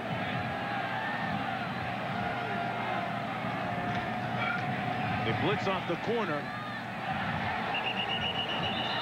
And it's ruled oh boy. incomplete, almost picked off by Robert Williams. Yeah, Robert Williams working against Brian Owen. I mean, he got his hands on there, and Owen did a good job of trying to pull it away. But you get the sense almost that these cornerbacks are in the huddle for the Cavaliers. I mean, they have been on top of every single pass play in this game. Once you end this play, Owen and Williams going at it. Now, Owen gets his hands on it first. Williams pulls it away, but when he finally does get control, he stepped out of bounds. Into punt, Will Brice, standing on his own 31. Dre Bly calls for the fair catch and lets it bounce. And it's short of the 20 at the 22-yard line. 33-yard punt, nothing on the return. A subdued, tie-wearing crowd here in Virginia. We'll be right back. Time for the Burger King College Football Play of the Day. Arizona and UCLA. Keith Smith drops back and goes 36 yards to Mike Metzler. 21 to 14. Arizona tuning up for cross-state rival Arizona State next week. Mark. And of course, next week, UCLA with their cross-town rivalry against USC. They have mastered USC of late. John Robinson, since he came back, has yet to beat Notre Dame or UCLA. And with a 5 and 5 team, I don't know if he's got the kind of horses he needs to win those games. Plus, the Bluebirds are coming out in Los Angeles on Robinson. First and 10. Leon Johnson that time. Gaining a few yards, brought down by James Farrior. I'm Mark Jones along with John Spagnola and Dean Blevins as we look at the numbers after three quarters. Right here, 150 yards of total offense. 80 of that came in one drive for North Carolina, and then points off turnovers. The two interceptions, one for a touchdown by Dre Bly and field goal after the other one. And that is the story of this football game. Keldorf out of the shotgun on second and seven. Incomplete for L.C. Stevens. You know, usually during the course of this season, they have shown good chemistry, but today those two, Keldorf and Stevens, just a little bit off. McIver in on the cover, McKeever, pardon me, in on the coverage that time. Third down and seven now for the Tar Heels. Looking to snap a winless streak here at Scott Stadium dating back to 1981. A trips left formation.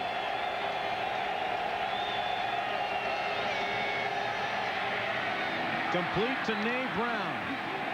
Brown tackled at the 31-yard line. Barber, Ronde Barber making the tackle, and it is close to the first down. Not close enough, though. They'll have to punt. Look at action in the ACC today. Clemson has really come on of late. 40 to 17 winners today. You know, they, they were two and three to start the season, and they've won their last five in a row now. Maryland with that big win Thursday night helped Mark Duffner's uh, situation out over Georgia Tech. That was an emotional game for him. Back to Clemson. Do you remember the disarray they were in when we saw them earlier? Under heavy pressure, DePriest gets the punt off. Barber back at the 34. And he's forced out of bounds at the 41-yard line. A 36-yard kick, six yards on the return. And North Carolina's kicking game has been pretty good today. That was one of the problems that they had in the lone loss this year against Florida State. They had two punts blocked in that game. But today, DePriest has done well. Yeah, he's had four blocked all year, and he did a great job of just getting his foot on that and getting it off. Well, tomorrow at 2.30 Eastern, 1.30 Central Time, Shell's Wonderful World of Golf. You'll see Couples and the Shark in that one. That's tomorrow, 1.30 Central, 2.30 Eastern Time on ABC. That is number four, followed by Skate America International at 4 o'clock Eastern, 3 o'clock Central Time. That's the Thrifty Car Rental, Skate America International.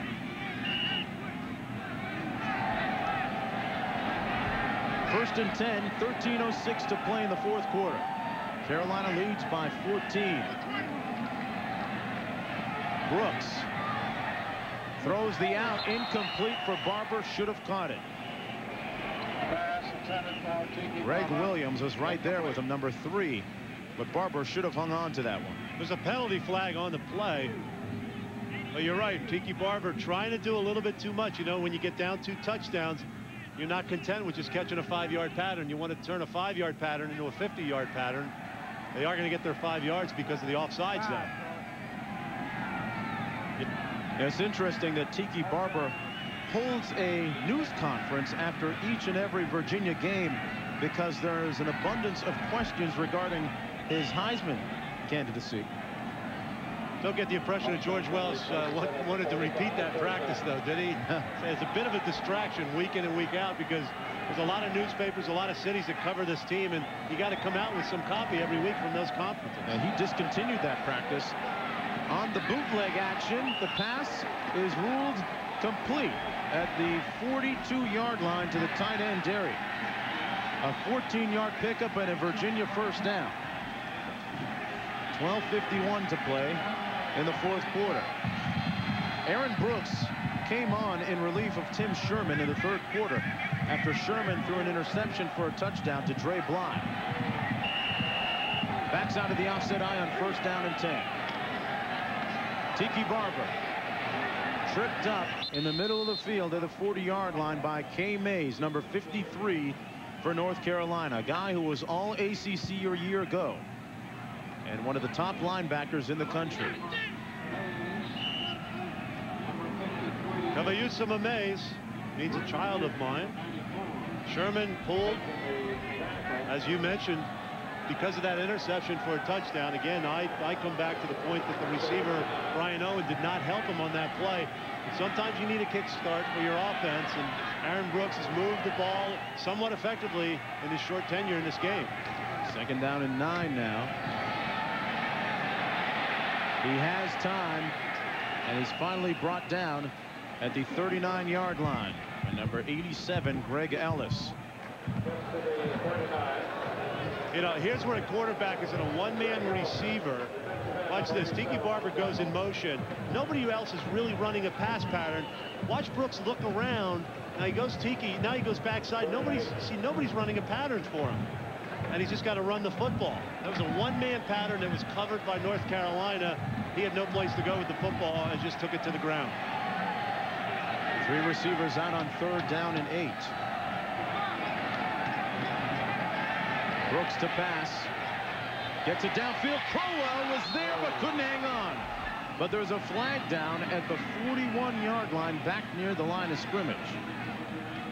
Crowell laid out nicely but couldn't hold the ball in. Well, he had a chance at that. Get an idea of the arm strength of Brooks. Crowell running that corner pattern. He's been doing this all day long. Down to that goes up in the air. Oh, doesn't quite pull that in.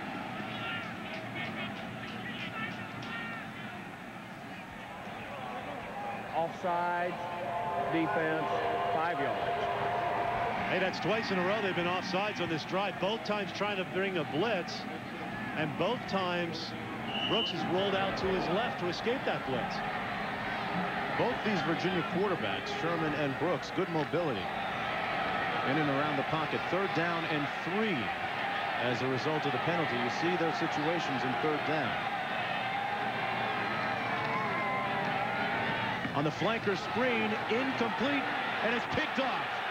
Brian Simmons, he returned one for a touchdown last week, and you know what? This week, he didn't quite get there. 84 yards last week against Louisville in the fourth quarter. Man, twice in a row, he almost gets into the end zone on an interception. Aaron Brooks, the quarterback, ran him down. A touchdown saving tackle by the quarterback. You know, they're trying to get the ball to Terrence Wilkins again. He's going to break inside here. Remember the screen we saw earlier in this football game? The ball gets tipped a little bit. He tries to come up with a difficult catch. And I don't know how Brian Simmons caught that football. That thing just stuck in his right arm. The ball found him more than he found it. It sure did. hey, Brooks spiked him down to the ground, didn't he? When you throw interceptions, you're a little hot. You get that adrenaline going. and North Carolina with the ball on Virginia's 10. Simmons, though, with a little bit of foot speed. Well, he picked that up from Deion Sanders, don't you think, right there? That little kick out. Styling and profiling. Backs out of the I on the toss. Leon Johnson maybe got a yard. This Virginia defense still playing tough. But turnovers have been a big part of the story this afternoon for both teams. Virginia throwing four interceptions with a fumble. North Carolina with one of each. And that turnover margin now is 5 to 2 in this game. It keeps right on rolling. Number one in the nation in turnover margin. They average a plus 2.2 a game. In this game, they're a little bit higher than that. Second down and goal. 10-21 remaining in the fourth quarter. Keldorf to pass on the slant for Barnes incomplete. He found Barnes on the last touchdown pass, but not this time. I'd say that's a great job by Sam McKeever breaking into the football, reading the pattern, and driving into that short slant pattern. McKeever's been tested as a result of Joe Rowe not being able to go because of an ankle injury. That's right. He, he and Joe Williams have been playing that corner position. Keldorf 17 for 33, one touchdown, one interception. Not a lot to get excited about, but again, you know, he threw that one interception in the second quarter of this game, and that's been it for the day for him. And finally, the defense turns things over for this football team. That's the way it's been going all year. Keldorf on third and goal, and he's picked off. And this one could be six. Antwan Harris is going to take this one to the house. Turnabout is fair play.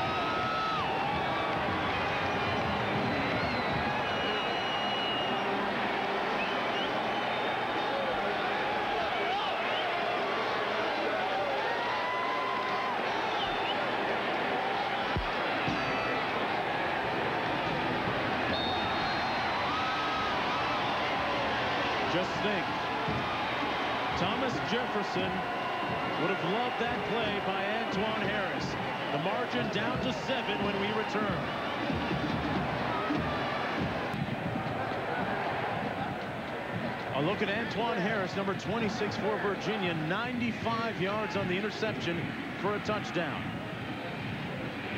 Well, you got the sense that North Carolina was going to sleepwalk its way into a victory here, up by 14, going in for more points. And all of a sudden, the crowd, which had been falling asleep, gets ignited by Antwan Harris. Mark, it's incredible turnaround. Chris Keldorf has thrown two interceptions today, uncharacteristically so. He's only thrown five on the season. Unfortunately for him, that last one went for six the other way. And North Carolina is up by seven, but Virginia's seventh win of the season still looms in the offing.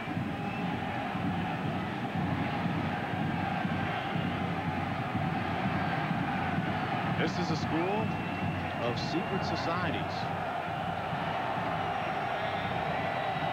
You could see the seven on the hill a little more clearly earlier. But this place is packed. Garcia with the kick squibs it down to the 15. Keith Newman out to the 30. John Saunders, tell us what's up with Ohio State. Well, Mark, if your offense isn't working, look to the defense. Jay Rogers drops back. Watch Andy Katzenmoyer get a hold of him and just rip the ball away. It pops into Matt Finkes' hands, and then he goes 45 yards for the touchdown as the Buckeyes take a lead and perhaps survive, but there's still plenty of time left. Mark. Boy, Houdini, John, couldn't have done that one better. That's that freshman Katzenmoyer. I've, I've seen a lot of highlights of that true freshman this year, and he's making a lot of plays for Ohio State.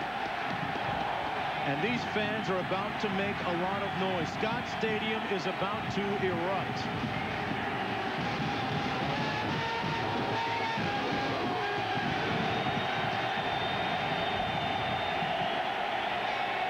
Watson and Linton working out of the I.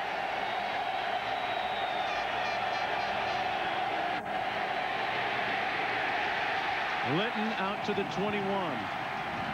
But Chris Keldorf was trying to go to Octavius Barnes. He's been delivering all day on a slant in. Watch Antwan Harris read and drive the football. He's going to read the quarterback, gets inside of that. It's a 95-yard touchdown return. And he does a little Green Bay imitation of its own. Ted Rzempoluch also had a 95-yard touchdown return against Maryland. Let's see if he does his Green Bay thing. Not quite. There he is up in the stands. Okay. It's a good thing they gave him back. Second down and eight. Keldorf out of the backfield. Oh, incomplete. Almost picked off. Linton, the intended receiver. And it's third down and nine. Look at a wingspan on John Harris. Almost got his hand on that football. He's 6'8", 270 pounds. And he read that little swing pattern.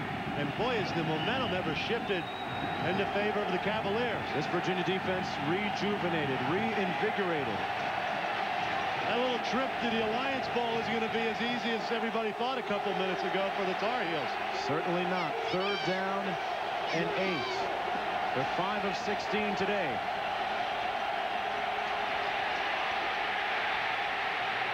They're not going to get the first down.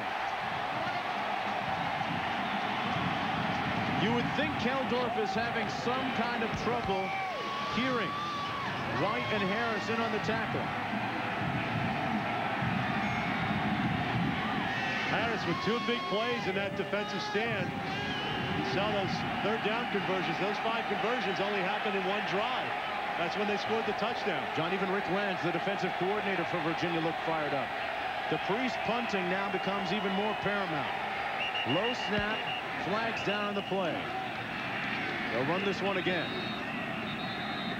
I tell you what, everybody is standing in the stadium too, Mark. It's so exciting to see.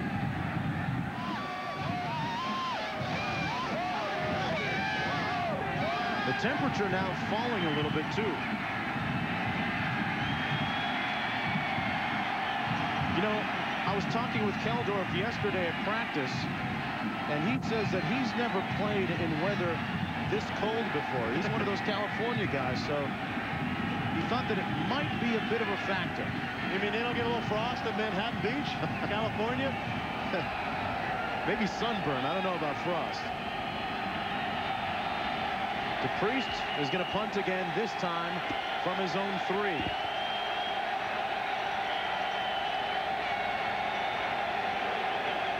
He's had four blocked this year. Low snap, and he gets it off. A high spiral. Barber at the 40. And Barber is brought down after picking up just two yards on the return. A 43-yard punt, and Virginia trails by just seven when we come back. Well, next Saturday, another doubleheader on ABC College Football. Orlando Pace making pancakes out of everyone, and Pepe Pearson for the Buckeyes take on their rivals from Michigan. It starts at 12 Eastern Time, 9 Pacific. And after that, other regional action, Michigan State at Penn State. Winners today against Michigan. USC at UCLA at the Rose Bowl. Florida State, Maryland, and Texas Tech at Oklahoma. Call your cable operator for the games available in your area. It starts at 3.30 Eastern Time. Tim Sherman is back in at quarterback now for Virginia. And he's going to pass. Under pressure, takes off, down to the 49-yard line, close to a first down. K. Mays making the stop for North Carolina. So Sherman, after sitting out the majority of the third quarter and giving way to Aaron Brooks, comes back in now, potentially to lead them to the tie. It'll be second down and one. I think that's a good move by George Welsh, too. Sit Sherman down, let him get a grasp of what's going on in the football game. His team got back in the game. I think Sherman has a better opportunity to bring this team back than Brooks does. Carolina blitzing, and Sherman wisely throws this one away. And Dean Blevins, uh, how warm are you downstairs, Dean? Well, the end of my nose is really cold, and the end of my toes are very cold. And uh, I think it's that way for a lot of people down here. On the field is probably not a factor. You mentioned with the quarterback at Carolina, you talked to him yesterday, and that it was a problem, or it is the coldest he's been in. It's 32 degrees down here right now. Guys, it's incredible the difference in the crowd reaction right now. Fans were actually leaving 10 minutes ago. Now everyone's standing, and the volume is incredible. Shame on ye of little faith. That's right. Third down and one for the Cavaliers. A little option. Sherman keeps it himself and has the first down for the Cavs. First time today we've seen that option package. James Hamilton, number 54, making the stop for Carolina. And it's a good changeup, too, for this offense in a short yardage situation. It's a nice way to give more than one play and one sort of a way of attacking the defense to work. And, and, and that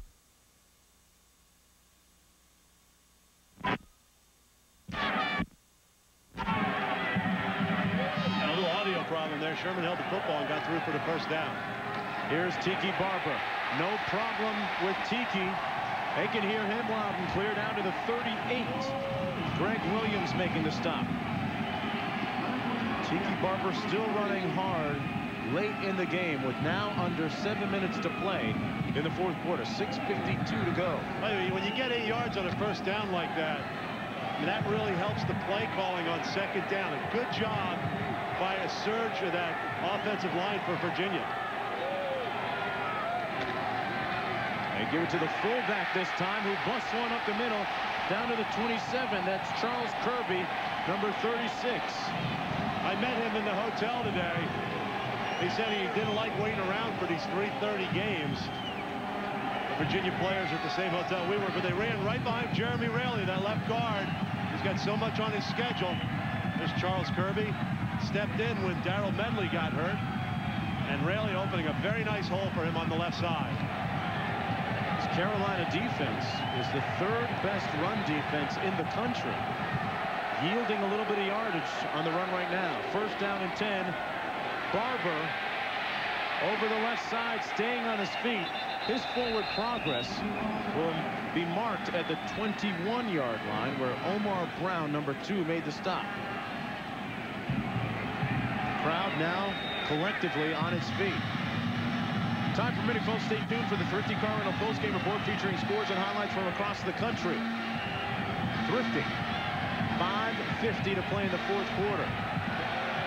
Scott Stadium in Charlottesville packed. Chilly, but warm with emotion. Second down and three for Virginia.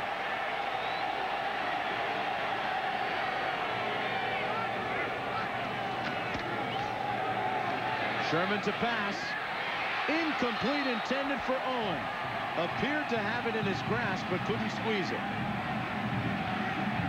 It'll be third down and three to go. Robert Williams, number 29, was covering the slant. Well, that's number 29 going against 29. Ryan Owen just couldn't come up with that reception. The ball was thrown well by Sherman. And that's the kind of play this team needs to have they're going to tie this game up. Again, they come out with their twin set to the right. Crowell is the inside receiver. Barber in motion. Sherman into the end zone for Crowell. Jump ball incomplete. And Dre Bly with a look as if to say, no, certainly not. You know, first of all, Sherman wanted to go to Tiki Barber in the flat. They covered that pretty well. He went to his secondary receiver. Why not lay it up in the air for the big guy Crowell? But again, Dre Bly shows his ability to time his jump, and he's up there, even though he's given up about a half a foot, he's able to get up there and knock that ball away. Dre Bly, it's been his kind of day so far. 17-10 when we come back. College football and ABC Sports brought to you by Ford and your Ford dealer. Have you driven a Ford lately? State Farm Insurance, like a good neighbor, State Farm is there. Burger King, where you can get your burger's worth. And Circuit City, the choice for price, selection, and service. This is why Tim Sherman threw the ball to Crowell. Tiki Barber's going to come in motion here. He gets covered on the pick play. See 29 Brian O. He tries to pick the defensive back. So now Sherman had to go to his secondary receiver. One-on-one coverage. You take that matchup anytime. But Dre Bly once again comes up big for the Tar Heel defense. Fourth and three, they're going for it. They are four of nine on fourth down conversions. Sherman out of the shotgun. And he's going to run it himself. He has the first down at the 15-yard line. Greg Williams ran him out. It's a heady play by Sherman. You know, you had man-to-man -man coverage downfield. Everybody's back is turned to him, playing man-to-man -man coverage in that secondary and the linebackers, and he just takes it upfield for the first down. Fans left early. Some wanted to leave early. Certainly, they got to be thinking about coming back if you've left. 5.13 to play in the fourth quarter. Virginia down by seven with the ball on North Carolina's 17-yard line. Tiki Barber trying to run between the tackles, gaining about two yards.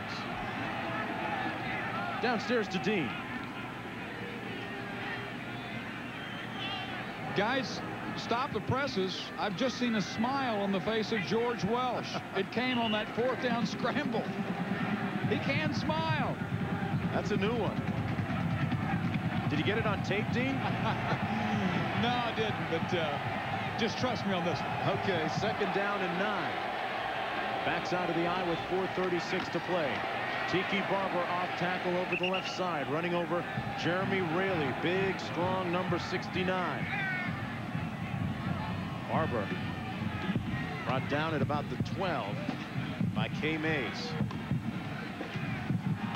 Tiki Barber has had to work hard for everything, as has number 69, Raley. But a big part of this drive has been Tim Sherman. He's rushed three times for 17 yards. Tiki with 79 yards on the day. The whole Carolina offense with just 24. Keep in mind, all those sacks are deducted out of rushing yardage, and that's why it's so low for the day. Once again, it is third and long, third and seven. Crowell hangs on to it and is hit at the seven-yard line by Robert Williams. Close to the first down, and Crowell really got hit hard.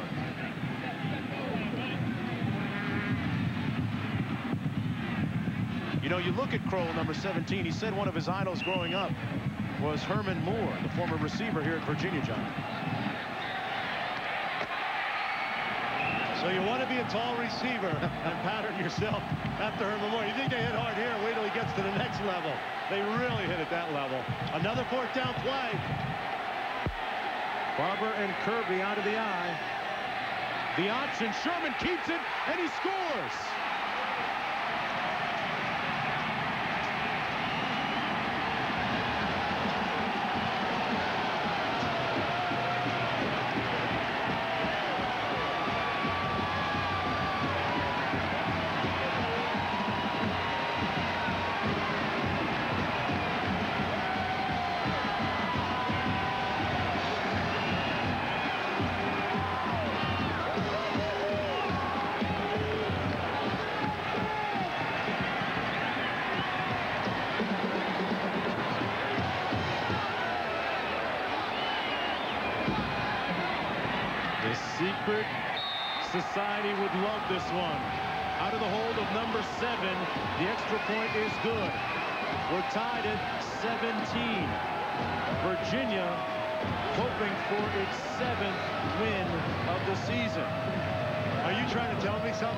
Just a little bit.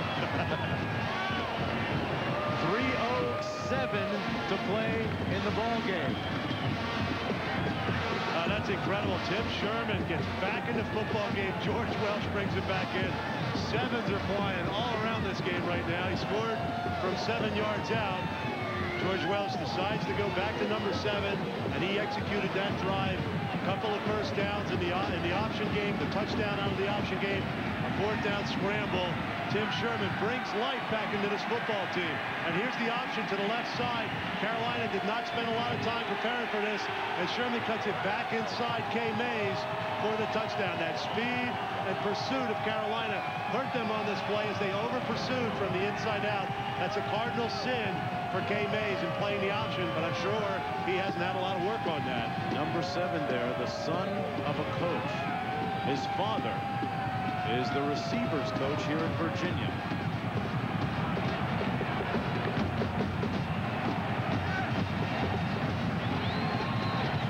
Will Brice set to kick off. There were whispers that that guy, number seven, only got a scholarship here because his father was a coach, and it took a long time for him to prove himself. Uh, there's a bad move, too, by Jonathan Linton. He didn't need to call fair catch on that. He's a running back. I mean, there's nobody within 15 yards of him, so that is going to cost Carolina some field position. Sherman now in the spotlight. And get ready for some noise. If, if Chris Keldorf thought he had problems before with the noise, just wait on this drive.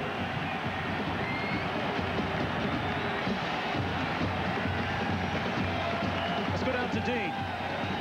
Mack Brown said line checks because of the crowd noise was a problem in the first half. It's twice as loud as it was in the first half at any time. The give is to Leon Johnson. And he is stuffed at or behind the line of scrimmage by Farrior. The clock running with 2.52 to play in the fourth quarter. We're deadlocked at 17. North Carolina came in here ranked number six in the country.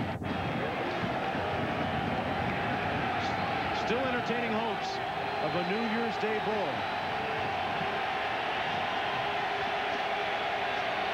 Second and 13, Keldorf. Incomplete for Na Brown. Clock stops with 2.29 to play in the fourth. And if Virginia can hold here, Mark, they're going to get some very good field position. You can see Carolina does not want to take too many chances. They've been burned now 95 yards away with an interception for a touchdown. But they get in a situation now where they don't convert. The Cavaliers are going to get the football at about midfield. Could Virginia's clandestine society of seven be working its magic right now? 2.29 to play in the fourth quarter.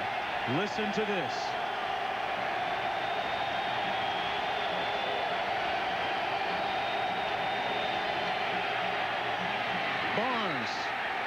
Complete. Brought down by Phelan. But it's short of the first down. They'll have to punt. And the clock running with 2.15 to go in the fourth. Carolina and Mack Brown with three timeouts remaining. Virginia with two.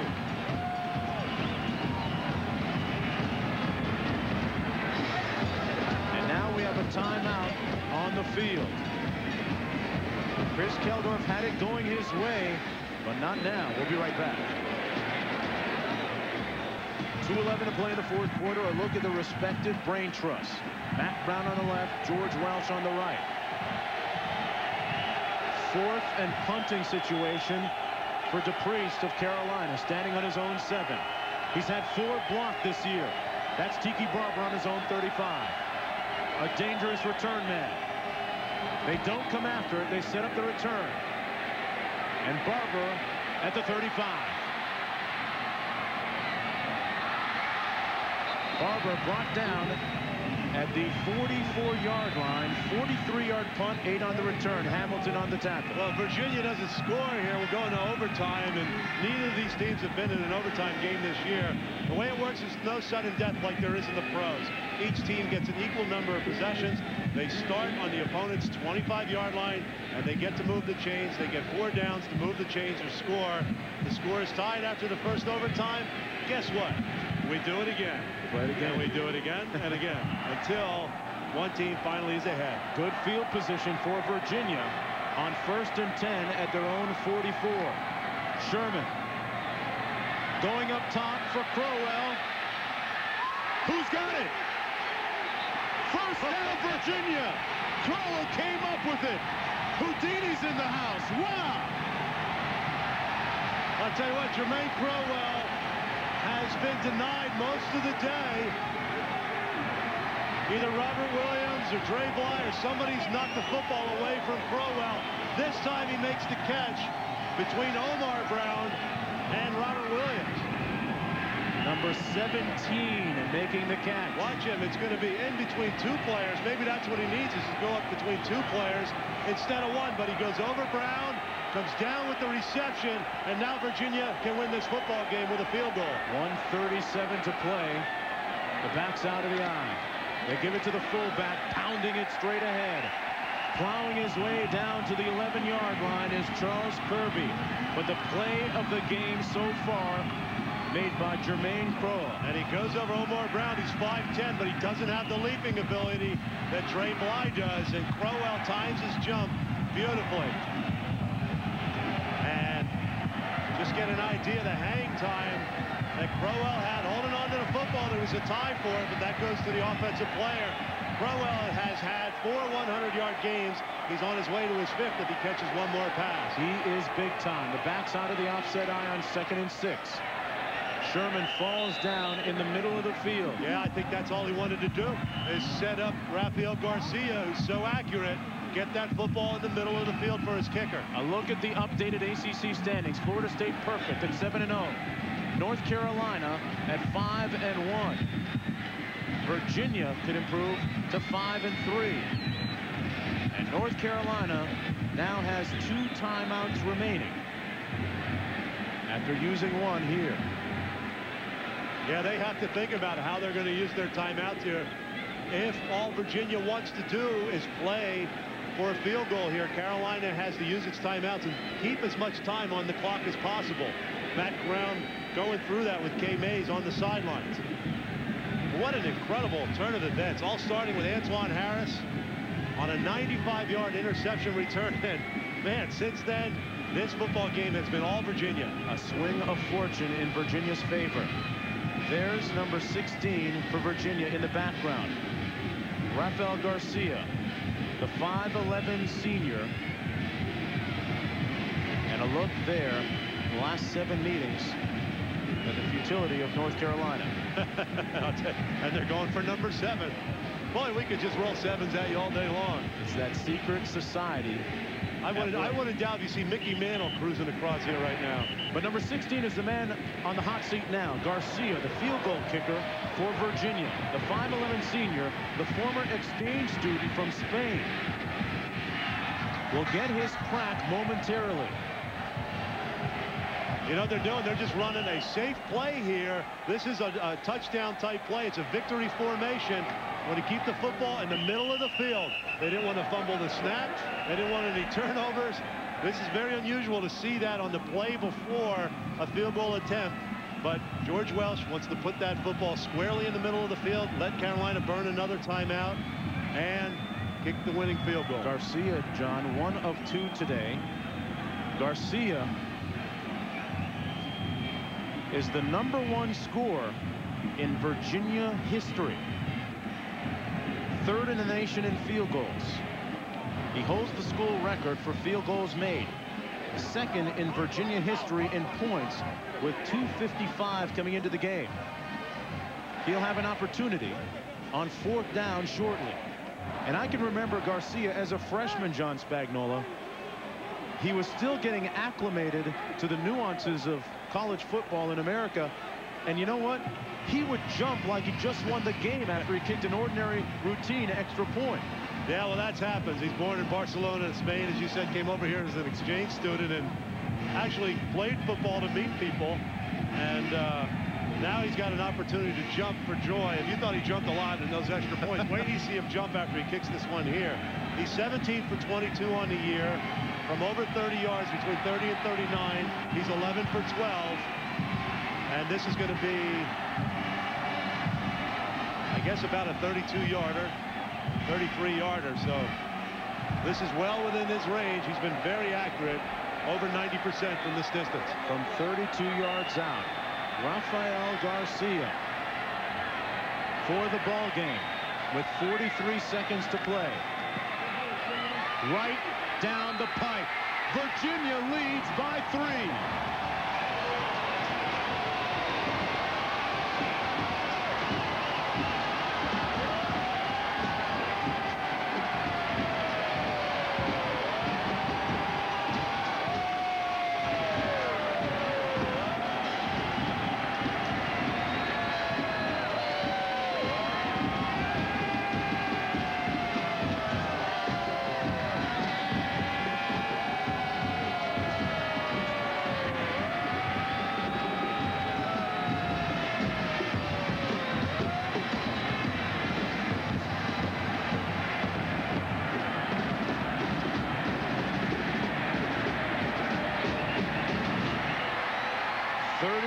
Seconds remain for North Carolina as the curse continues for the Tar Heels.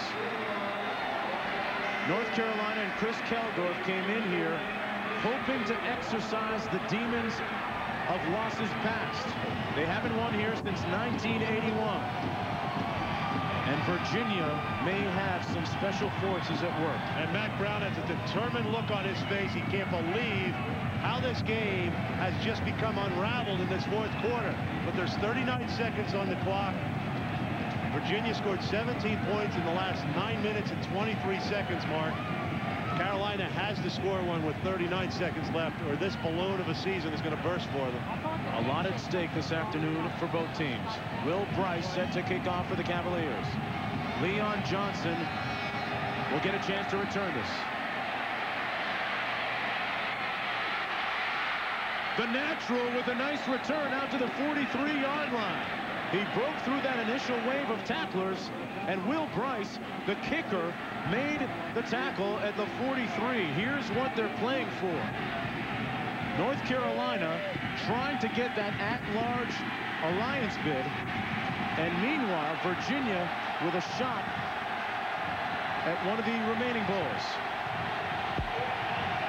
It'll be the first time Carolina has played in a New Year's Day Bowl since 1950. They have 32 seconds to play. Keldorf. Snapped. And they have to call another timeout here. And Carolina does, so they use their last timeout on this play, Mark. But, you know, give Virginia credit. They didn't go to a prevent. They didn't sit back on their heels. Jon Harris comes through and makes the sack. That's the seventh sack today for Virginia. Six of those were in the first half, though, so they're really, you know, here they bring on the big play just when Leon Johnson gets good field position for him. An incredible turn of events here in the second half. Virginia trailed 17 to 3 not that long ago. Folks, remember next Saturday at noon Eastern Time, 11 a.m. Central on ABC, doubleheader action as Michigan goes to Columbus to take on Ohio State. That's at 12 noon Eastern. Then other regional action will be in Los Angeles doing the USC-UCLA game Penn State hosts Michigan State, Florida State hosts Maryland, and Texas Tech travels to Norman. That's at 3.30 Eastern Time. Call your cable operator for the games available on pay-per-view. 22 seconds to play in the fourth quarter. Yeah, that play took 10 seconds. They had 32 seconds. Took 10 seconds to get sacked and call a timeout. If you're North Carolina, you would prefer Keldorf to get rid of it and stop the clock early.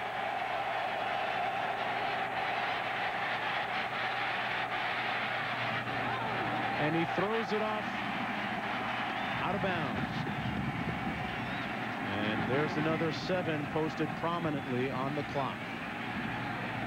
It is third and 18 with 17 seconds to play. All Carolina can do is I think they have to try to go something deep down the middle of the football field, knowing full well that they can still get some time stopped if they do get a first down. They have to take some shots deep with this football right now.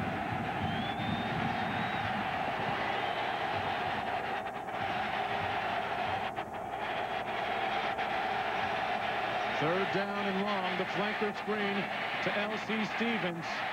In heavy traffic, brought down. That's near the original line of scrimmage, and that's going to do it. Yeah, they can't get another play off. It's fourth down. It's over. Virginia wins.